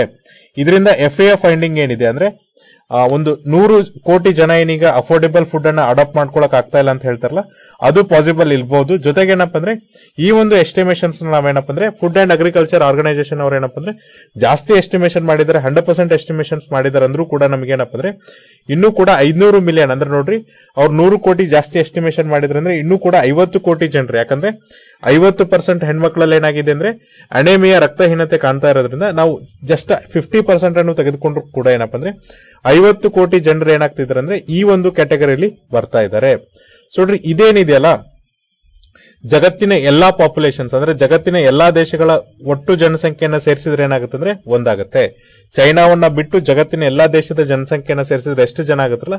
ಅದಕ್ಕಿಂತ ಹೆಚ್ಚಿನ ಜನ ಏನಾಗ್ತಿದೆ ಅಂದ್ರೆ ಭಾರತದಲ್ಲಿ ಈ ಒಂದು ನ್ಯೂಟ್ರಿಷನ್ಸ್ ಕೊರತೆಯಿಂದ ಅಂದ್ರೆ ಅಫೋರ್ಡೆಬಲ್ ಫುಡ್ ಅನ್ನ ಅವರಿಗೆ ಏನಪ್ಪಾ ಅಂದ್ರೆ ತೆಗೆದುಕೊಳ್ಳಕ್ ಆಗದೇ ಅಂದ್ರೆ ಡೆಫಿಷಿಯನ್ಸಿಯಿಂದ ಬೆಳ್ತಾ ಇದಾರೆ ಪೋಷಕಾಂಶದ ಡೆಫಿಷಿಯನ್ಸಿಯಿಂದ ಅವರು ಬಳಲ್ತಾ ಇದ್ದಾರೆ. ಸೊ ಈಗ ನಮಗಿರುವಂತ ಪ್ರಮುಖವಾದ ಒಂದು ಟಾಸ್ಕ್ ಏನಪ್ಪ ಅಂದ್ರೆ ಸೊ ನೋಡ್ರಿ, ಈ ಒಂದಿಷ್ಟು ಜನರಿಗೆ ಏನಪ್ಪ ಅಂದ್ರೆ ಹೆಲ್ದಿ ಡಯಟ್ ಅಂದ್ರೆ ಆರೋಗ್ಯಕರವಾದಂತಹ ಊಟವನ್ನ ಕೊಡೋದೇ ನಮಗೆ ತುಂಬಾ ಇಂಪಾರ್ಟೆಂಟ್ ಎಕನಾಮಿಕ್ ಪಾಲಿಸಿ ಆಗಿರುತ್ತೆ ಆರ್ಥಿಕವಾದಂತಹ ಒಂದು ಯೋಜನೆ ಆಗಿರುತ್ತೆ. ಸೊ ನೋಡ್ರಿ ಮ್ಯಾಕ್ರೋ ಎಕನಾಮಿಕ್ ಪಾಲಿಸೀಸ್ ಏನಾಗುತ್ತೆ ಅಂದ್ರೆ ಇನ್ಫ್ಲೇಷನ್ಸ್ ಅಥವಾ ಹಣದುಬ್ಬರವನ್ನ ನಿಯಂತ್ರಣ ಮಾಡೋದಕ್ಕೆ ಆಗಿರುತ್ತೆ. ಎಸ್ಪೆಷಲಿ ನೋಡ್ರಿ ರಿಸರ್ವ್ ಬ್ಯಾಂಕ್ ಆಫ್ ಇಂಡಿಯಾ ಏನ್ ಮಾಡುತ್ತಪ್ಪ ಅಂದ್ರೆ, ಯಾವಾಗ ಹಣದುಬ್ಬರ ಜಾಸ್ತಿ ಆಗತ್ತಲ್ಲ, ಅವರು ಇಂಟ್ರೆಸ್ಟ್ ರೇಟ್ ಅನ್ನ ಜಾಸ್ತಿ ಮಾಡ್ತಾರೆ, ಕಡಿಮೆ ಮಾಡ್ತಾರೆ. ಫಾರ್ ಎಕ್ಸಾಂಪಲ್ ನೋಡ್ರಿ, ಈಗ ಅವ್ರದ್ದೊಂದು ಇನ್ಫ್ಲೇಷನ್ ಟಾರ್ಗೆಟ್ ಇದೆ. ಎಸ್ಪೆಷಲಿ ಏನಪ್ಪ ಅಂದ್ರೆ four plus or minus two percent ಅಂತ. ಅಂದ್ರೆ ಇನ್ಫ್ಲೇಷನ್ ಯಾವಾಗ್ಲೂ two to six percent range ಒಳಗೆ ಇರಬೇಕಂತ ಹೇಳ್ತಾರೆ. ಇನ್ ಕೇಸ್ ನೋಡ್ರಿ, ಹಣದುಬ್ಬರ ಏನಾದ್ರೂ ಸಿಕ್ಸ್ ಪರ್ಸೆಂಟ್ ಗಿಂತ ಜಾಸ್ತಿ ಆದ್ರೆ ಅವರು ಇಂಟ್ರೆಸ್ಟ್ ರೇಟ್ ಅನ್ನ ಜಾಸ್ತಿ ಮಾಡ್ತಾರೆ. ಟೂ ಪರ್ಸೆಂಟ್ ಗಿಂತ ಕಮ್ಮಿ ಆದ್ರೆ ಅವರು ಇಂಟ್ರೆಸ್ಟ್ ರೇಟ್ ಅನ್ನ ಕಡಿಮೆ ಮಾಡ್ತಾರೆ. ಈ ತರ ಇಂಟ್ರೆಸ್ಟ್ ರೇಟ್ ಅನ್ನ ಜಾಸ್ತಿ ಮಾಡಿ, ಕಡಿಮೆ ಮಾಡಿ ಏನ್ ಮಾಡ್ತಾರಲ್ಲ, ಇದರಿಂದ ಏನ್ ಮಾಡ್ತಾರಪ್ಪ ಅಂದ್ರೆ ಆಹಾರದ ಪ್ರೈಸಸ್ನ ಅವ್ರೇನು ತರಬಹುದು ಆದ್ರೆ ಏನಪ್ಪ ಅಂದ್ರೆ ಅದನ್ನ ಒಂದು ಟೈಮ್ ಪೀರಿಯಡ್ ಅಂತ ಕೊಡಬೇಕು. ಫಾರ್ ಎಕ್ಸಾಂಪಲ್ ನೋಡ್ರಿ, ಕಳೆದ ನಾಲ್ಕು ವರ್ಷದಿಂದ ಏನಾಗ್ತಿದೆ ಅಂದ್ರೆ ಆಹಾರದ ಒಂದು ಇನ್ಫ್ಲೇಷನ್ ಏನಿದೆ ಫುಡ್ ಇನ್ಫ್ಲೇಷನ್ಸ್ ಏನಿದೆ ಅದು ಕಮ್ಮಿ ಆಗಿಲ್ಲ. ಬದಲಾಗಿ ಅದು ಜಾಸ್ತಿ ಆಗ್ತಾ ಇದೆ. ಇದಕ್ಕೆ ಮುಖ್ಯ ಕಾರಣ ಏನಪ್ಪ ಅಂದ್ರೆ ಸಪ್ಲೈ ಸೈಡ್ ಅಂದ್ರೆ ಈಗ ನೀವು ಡಿಮ್ಯಾಂಡ್ ಸೈಡ್ ಅನ್ನ ಕಮ್ಮಿ ಮಾಡಿದ್ರೆ. ಆರ್ಥಿಕವಾಗಿ ನೋಡೋದಾದ್ರೆ ನೋಡ್ರಿ ಈ ಕರ್ವ್ ಇರುತ್ತೆ. ಡಿಮ್ಯಾಂಡ್ ಅಂಡ್ ಸಪ್ಲೈ ಕರ್ವ್ ಅಲ್ಲಿ ಏನಪ್ಪ ಅಂದ್ರೆ, ಇದನ್ನ ಡಿಮ್ಯಾಂಡ್ ಅಂತ ತೆಗೆದುಕೊಂಡ್ರೆ, ಇದನ್ನ ಸಪ್ಲೈ ಅಂತ ತೆಗೆದುಕೊಂಡ್ರೆ ಡಿಮ್ಯಾಂಡ್ ಕಮ್ಮಿ ಆದಂಗೆ ಪ್ರೈಸ್ ಕಮ್ಮಿ ಆಗುತ್ತೆ. ಅದೇ ತರನಾಗಿ ಸಪ್ಲೈ ಜಾಸ್ತಿ ಆದಂಗೆ ಪ್ರೈಸ್ ಜಾಸ್ತಿ ಆಗುತ್ತೆ. ಸಾರಿ ಸಪ್ಲೈ ಜಾಸ್ತಿ ಆದಂಗೂ ಕೂಡ ಪ್ರೈಸ್ ಕಮ್ಮಿ ಆಗುತ್ತೆ. ಅದೇ ತರ ನೋಡ್ರಿ ಸಪ್ಲೈ ಕಮ್ಮಿ ಆದಂಗೆ ಕೂಡ ಏನಾಗುತ್ತೆ ಅಂದ್ರೆ ಪ್ರೈಸ್ ಇಲ್ಲಿ ಜಾಸ್ತಿ ಆಗ್ತಾ ಹೋಗುತ್ತೆ. ಕಳೆದ ನಾಲ್ಕು ವರ್ಷದಿಂದ ಏನಾಗ್ತಾ ಇದೆ ಅಂದ್ರೆ ಸಪ್ಲೈ ಕಮ್ಮಿ ಆಗ್ತಾ ಇದೆ. ಹಾಗಾಗಿ ಪ್ರೈಸ್ ಜಾಸ್ತಿ ಆಗ್ತಾ ಇದೆ. ಹಾಗಾಗಿ ನೋಡ್ರಿ ಸೆಂಟ್ರಲ್ ಬ್ಯಾಂಕ್ಸ್ ಏನೀಗ ನಾವು ಇನ್ಫ್ಲೇಷನ್ಸ್ ಅನ್ನ ಕಂಟ್ರೋಲ್ ಮಾಡ್ತೀವಿ, ಹಣದುಬ್ಬರವನ್ನ ಕಂಟ್ರೋಲ್ ಮಾಡ್ತೀವಿ ಅಂತಾರಲ್ಲ, ಆ ಹಣದುಬ್ಬರವನ್ನ ಕಂಟ್ರೋಲ್ ಮಾಡೋದ್ರಲ್ಲಿ ಅವರು ಕಂಪ್ಲೀಟ್ ಫೇಲ್ ಆಗಿದ್ದಾರೆ. ಅದಕ್ಕೋಸ್ಕರ ಅವ್ರೇನಪ್ಪ ಅಂದ್ರೆ ಒಂದು ಟೈಮ್ ಫ್ರೇಮ್ ಅನ್ನ ಮೆನ್ಷನ್ ಮಾಡ್ಬೇಕಂದ್ರೆ ಇಷ್ಟು ಸಮಯದಲ್ಲಿ ನಾವೇನ್ ಮಾಡ್ತೀವಿ ಅಂದ್ರೆ ಹಣದುಬ್ಬರವನ್ನ ನಿಯಂತ್ರಣಕ್ಕೆ ತರ್ತೀವಿ ಅಂತ ಹೇಳಿ ಹಾಗಾಗಿ ನೋಡ್ರಿ, ಈ ಒಂದು ಸಮಯದಲ್ಲಿ ನಾವೇನಪ್ಪ ಅಂದ್ರೆ ಪಾಲಿಸಿ ಬಿಟ್ಟು, ಅಂದ್ರೆ ಇಂಟ್ರೆಸ್ಟ್ ರೇಟ್ ಜಾಸ್ತಿ ಮಾಡೋದು ಕಡಿಮೆ ಮಾಡೋದನ್ನ ಬಿಟ್ಟು ನಾವೇನ್ ಮಾಡ್ಬೇಕಂದ್ರೆ ಸಪ್ಲೈ ಸೈಡ್ ಅನ್ನ ಜಾಸ್ತಿ ಮಾಡ್ಬೇಕಂದ್ರೆ ಸಪ್ಲೈ ಅನ್ನ ನಾವು ಜಾಸ್ತಿ ಮಾಡಿದಾಗ ಆಟೋಮೆಟಿಕ್ಲಿ ನೋಡ್ರಿ ಸಪ್ಲೈ ಜಾಸ್ತಿ ಆದಂಗೆ ಏನಾಗುತ್ತೆ ಅಂದ್ರೆ ಪ್ರೈಸ್ ಕಮ್ಮಿ ಆಗುತ್ತೆ. ಅವಾಗ ಪ್ರೈಸ್ ಕಮ್ಮಿ ಆದಾಗ ಏನಾಗುತ್ತಪ್ಪ ಅಂದ್ರೆ ಕನ್ಸಂಪ್ಷನ್ ಅಂದ್ರೆ ಜನರು ಬಳಸುವಂತ ಕೆಪಾಸಿಟಿನೂ ಕೂಡ ಜಾಸ್ತಿ ಆಗುತ್ತೆ. ಹಾಗಾಗಿ ನೋಡ್ರಿ ನಾವು ಸಪ್ಲೈ ಸೈಡ್ ಕಡೆಗೆ ಏನ್ ಮಾಡ್ಬೇಕಂದ್ರೆ, ಹೆಚ್ಚಿನ ಗಮನವನ್ನ ಈಗ ಕೊಡಬೇಕಾಗತ್ತೆ. ಸೊ ಯಾವ ತರನಾಗಿ ನಾವು ಸಪ್ಲೈ ಸೈಡ್ ಅನ್ನ ಜಾಸ್ತಿ ಮಾಡ್ಬೋದಪ್ಪ ಅಂದ್ರೆ, ಅದಕ್ಕೆ ಅವರು ಗ್ರೀನ್ ರೆವಲ್ಯೂಷನ್ ಅಥವಾ ಈ ಒಂದು ಗ್ರೀನ್ ರೆವಲ್ಯೂಷನ್ ಉದಾಹರಣೆಯನ್ನ ಕೊಡ್ತಾ ಇದ್ದಾರೆ. ಸೊ ನೋಡ್ರಿ ಗ್ರೀನ್ ರೆವಲ್ಯೂಷನ್ ಏನಿದೆಯಲ್ಲ, ಈ ಒಂದು ಸಪ್ಲೈ ಸೈಡ್ ಅನ್ನ ಜಾಸ್ತಿ ಮಾಡೋದ್ರಲ್ಲಿ ನಮ್ಗೆ ಏನಪ್ಪ ಅಂದ್ರೆ ತುಂಬಾ ಒಂದು ಸಹಾಯವನ್ನ ಮಾಡುತ್ತೆ. ಎಸ್ಪೆಷಲಿ ಏನಪ್ಪ ಅಂದ್ರೆ ಹತ್ತೊಂಬತ್ ನೂರ ಅರವತ್ತರಲ್ಲಿ ಭಾರತದಲ್ಲಿ ನೋಡ್ರಿ, ಆಹಾರದ ಅಭದ್ರತೆ ಕಂಡಾಗ ಈ ಒಂದು ಗ್ರೀನ್ ರೆವಲ್ಯೂಷನ್ ಅನ್ನ ಜಾರಿಗೆ ತರ್ತಾರೆ. ಸೊ ನೋಡ್ರಿ, ಆ ಟೈಮಲ್ಲಿ ಏನಪ್ಪ ಅಂದ್ರೆ ಎರಡು ವರ್ಷ ಏನಾಗಿರುತ್ತೆ ಅಂದ್ರೆ ನಮಗೆ ಸಕ್ಸಸಿವ್ ಡ್ರಾಟ್ ಆಗಿರುತ್ತೆ. ಅಂದ್ರೆ ಎರಡು ವರ್ಷ ಏನಾಗುತ್ತೆ ಅಂದ್ರೆ ಬರಗಾಲ ಬರುತ್ತೆ. ಹಾಗಾಗಿ ನೋಡ್ರಿ, ಸರ್ಕಾರದವ್ರು ಏನ್ ಮಾಡ್ತಾರೆ ಅಂದ್ರೆ ಸಪ್ಲೈ ಸೈಡ್ ಅನ್ನ ಜಾಸ್ತಿ ಮಾಡೋದಕ್ಕೋಸ್ಕರ ಏನ್ ಮಾಡ್ತಾರೆ ಅಂದ್ರೆ ರೈತರಿಗೆ ಹೈ ಹಿಲ್ಡಿಂಗ್ ವೆರೈಟಿ ಸೀಡ್ಸ್ ಅನ್ನ ಕೊಡ್ತಾರೆ. ಎಚ್ ವೈ ವಿ ಅಂತ ಕರಿತೀವಿ. ಹೈ ಹಿಲ್ಡಿಂಗ್ ವೆರೈಟಿ ಸೀಡ್ಸ್ ಅನ್ನ ಕೊಡ್ತಾರೆ. ಜೊತೆಗೆ ನೋಡ್ರಿ ಚೀಪ್ ಕ್ರೆಡಿಟ್ ಅಂದ್ರೆ ಈ ಒಂದು ಇಂಟ್ರೆಸ್ಟ್ ರೇಟ್ ಕಮ್ಮಿ ಇರುವಂತ ಲೋನ್ ಅನ್ನು ಕೂಡ ಕೊಡ್ತಾರೆ. ಜೊತೆಗೆ ನೋಡ್ರಿ, ಈ ಪ್ರಕ್ಯೂರ್ಮೆಂಟ್ ಪ್ರೈಸ್ ಅನ್ನು ಕೂಡ ಜಾಸ್ತಿ ಮಾಡ್ತಾರೆ. ಅಂದ್ರೆ ನೀವು ಜಾಸ್ತಿ ಪ್ರೊಡಕ್ಷನ್ ಅನ್ನ ಮಾಡಿದ್ರೆ ನಿಮಗೆ ರೇಟ್ ಏನ್ ಕಮ್ಮಿ ಆಗತ್ತಲ್ಲ ಅದ್ರ ಬದಲಾಗಿ ನಾವೇನ್ ಮಾಡ್ತೀವಿ ಅಂದ್ರೆ, ಇಷ್ಟೇ ಒಂದು ನಿರ್ಧಾರಿತ ಬೆಲೆಗೆ ನಿಮ್ ಕಡೆಯಿಂದ ಈ ಒಂದು ದವಸ ಧಾನ್ಯಗಳನ್ನ ತೆಗೆದುಕೊಳ್ತೀವಿ ಅಂತೇಳಿ ಪ್ರೈಸ್ ಅನ್ನ ಫಿಕ್ಸ್ ಮಾಡ್ತಾರೆ. ಇದರಿಂದ ಏನಾಗತ್ತಪ್ಪ ಅಂದ್ರೆ ನೆಕ್ಸ್ಟ್ ಕೆಲವೇ ಕೆಲವು ವರ್ಷಗಳಲ್ಲಿ ಏನಾಗತ್ತಪ್ಪ ಅಂದ್ರೆ, ಭಾರತ ಈ ಒಂದು ಆಹಾರದ ಇಂಪೋರ್ಟ್ ಮೇಲೆ ಅಂದ್ರೆ ಆಮದು ಮೇಲೆ ಏನಪ್ಪಾ ಅಂದ್ರೆ ನಿರ್ಭರತೆನ ಕಡಿಮೆ ಮಾಡುತ್ತೆ. ಅಂದ್ರೆ ಭಾರತ ಏನಾಗುತ್ತಪ್ಪ ಅಂದ್ರೆ ನಿರ್ಭರವಾದ ಭಾರತ ಆಗುತ್ತೆ. ಮುಂಚೆ ಏನಾಗುತ್ತೆ ಅಂದ್ರೆ ನಾವು ಆಹಾರ ವಸ್ತುಗಳನ್ನ ಬೇರೆ ದೇಶಗಳಿಂದ ಆಮದು ಮಾಡ್ಕೋತಿದ್ವಿ. ಈಗ ಆಮದನ್ನ ನಿಲ್ಲಿಸಿ ನಾವು ಕಂಪ್ಲೀಟ್ ಆಗಿ ಏನಾಗ್ತೀವಿ ಅಂದ್ರೆ ನಿರ್ಭರತೆ ಆದಂತ ಭಾರತ ಆಗ್ತೀವಿ. ಈ ಒಂದು ಕೋಲ್ಡ್ ವಾರ್ಸ್ ಟೈಮ್ ಅಲ್ಲಿ ನೋಡ್ರಿ, ಭಾರತ ಏನಾದ್ರೂ ಸೆಲ್ಫ್ ರಿಲೆಂಟ್ ಆಗ್ಬೇಕಂತ ಆದ್ರೆ ಏನಾದ್ರೂ ಒಂದು ಕ್ರಾಂತಿಯನ್ನ ಮಾಡಿದ್ರೆ ಅದು ಹಸಿರು ಕ್ರಾಂತಿ ಅಂತ ಹೇಳ್ತಿದ್ದಾರೆ. ಅಂದ್ರೆ ಕೋಲ್ಡ್ ವಾರ್ ಅಲ್ಲಿ ನೋಡ್ರಿ ಹೈಲಿ ಪೋಲರೈಸ್ ವರ್ಲ್ಡ್ ಇತ್ತು. ಒಂದು ನೀವು ಯು ಎಸ್ ಎ ಹೋಗ್ಬೇಕಿತ್ತು, ಇಲ್ಲ ಯು ಎಸ್ ಎಸ್ ಆರ್ ಕಡೆ ಹೋಗ್ಬೇಕಿತ್ತು. ಈ ತರನಾಗಿ ಯು ಎಸ್ ಮತ್ತೆ ಯು ಎಸ್ ಎಸ್ ಆರ್ ಕಡೆ ಹೋಗದೆ ನೀವೇನಾದ್ರೂ ಸರ್ಪ್ರೆಂಟ್ ಆಗಕ್ಕೆ ಸಹಾಯ ಆಗಿದೆ ಅಂದ್ರೆ ಅದಕ್ಕೆ ಹಸಿರು ಕ್ರಾಂತಿನೇ ಸಹಾಯ ಆಗಿದೆ. ಜೊತೆಗೆ ನೋಡ್ರಿ ವೆಸ್ಟರ್ನ್ ಎಕನಾಮಿಸ್ಟ್ ಏನಪ್ಪ ಅಂದ್ರೆ ಈ ಯು ಎಸ್ ಎದವ್ರು ಏನಪ್ಪ ಅಂದ್ರೆ ಈ ಒಂದು ಮೂನಿನ ಮೇಲೆ ಲ್ಯಾಂಡ್ ಆಗೋದು. ಅಂದ್ರೆ ಚಂದ್ರನ ಮೇಲೆ ಏನ್ ಲ್ಯಾಂಡ್ ಆಗ್ತಾರಲ್ಲ, ಅದನ್ನ ಆಂಟ್ರಪ್ರನಲ್ ಸ್ಟೇಟ್ ಅಂತ ಕರೆದ್ರೆ, ಭಾರತದ ಒಂದು ಹಸಿರು ಕ್ರಾಂತಿಯನ್ನು ಅವ್ರು ಏನ್ ಕರೆದಿದ್ದಾರೆ ಅಂದ್ರೆ ಒಂದು ಸೆಲ್ಫ್ ರಿಲಯಂಟ್ ಅಂತ ಕರೆದಿದ್ದಾರೆ. ಯಾಕಂದ್ರೆ ನೋಡ್ರಿ, ನಾವು ಆಗ್ಲೇನೆ ಏನಾಗಿದ್ವಪ್ಪ ಅಂದ್ರೆ ಸ್ವತಂತ್ರದಿಂದ ಹೊರಗಡೆ ಬಂದಿದ್ವಿ. ಜೊತೆಗೆ ಏನಪ್ಪಾ ಅಂದ್ರೆ, ಎರಡು ವರ್ಷ ಕಂಟಿನ್ಯೂಸ್ ಆಗಿ ಬರಗಾಲ ಇತ್ತು. ಜೊತೆಗೆ ಏನಂದ್ರೆ, ನಮ್ಗೆ ಯಾವುದೇ ತರನಂತ ಆಹಾರದ ಭದ್ರತೆ ಇರ್ಲಿಲ್ಲ.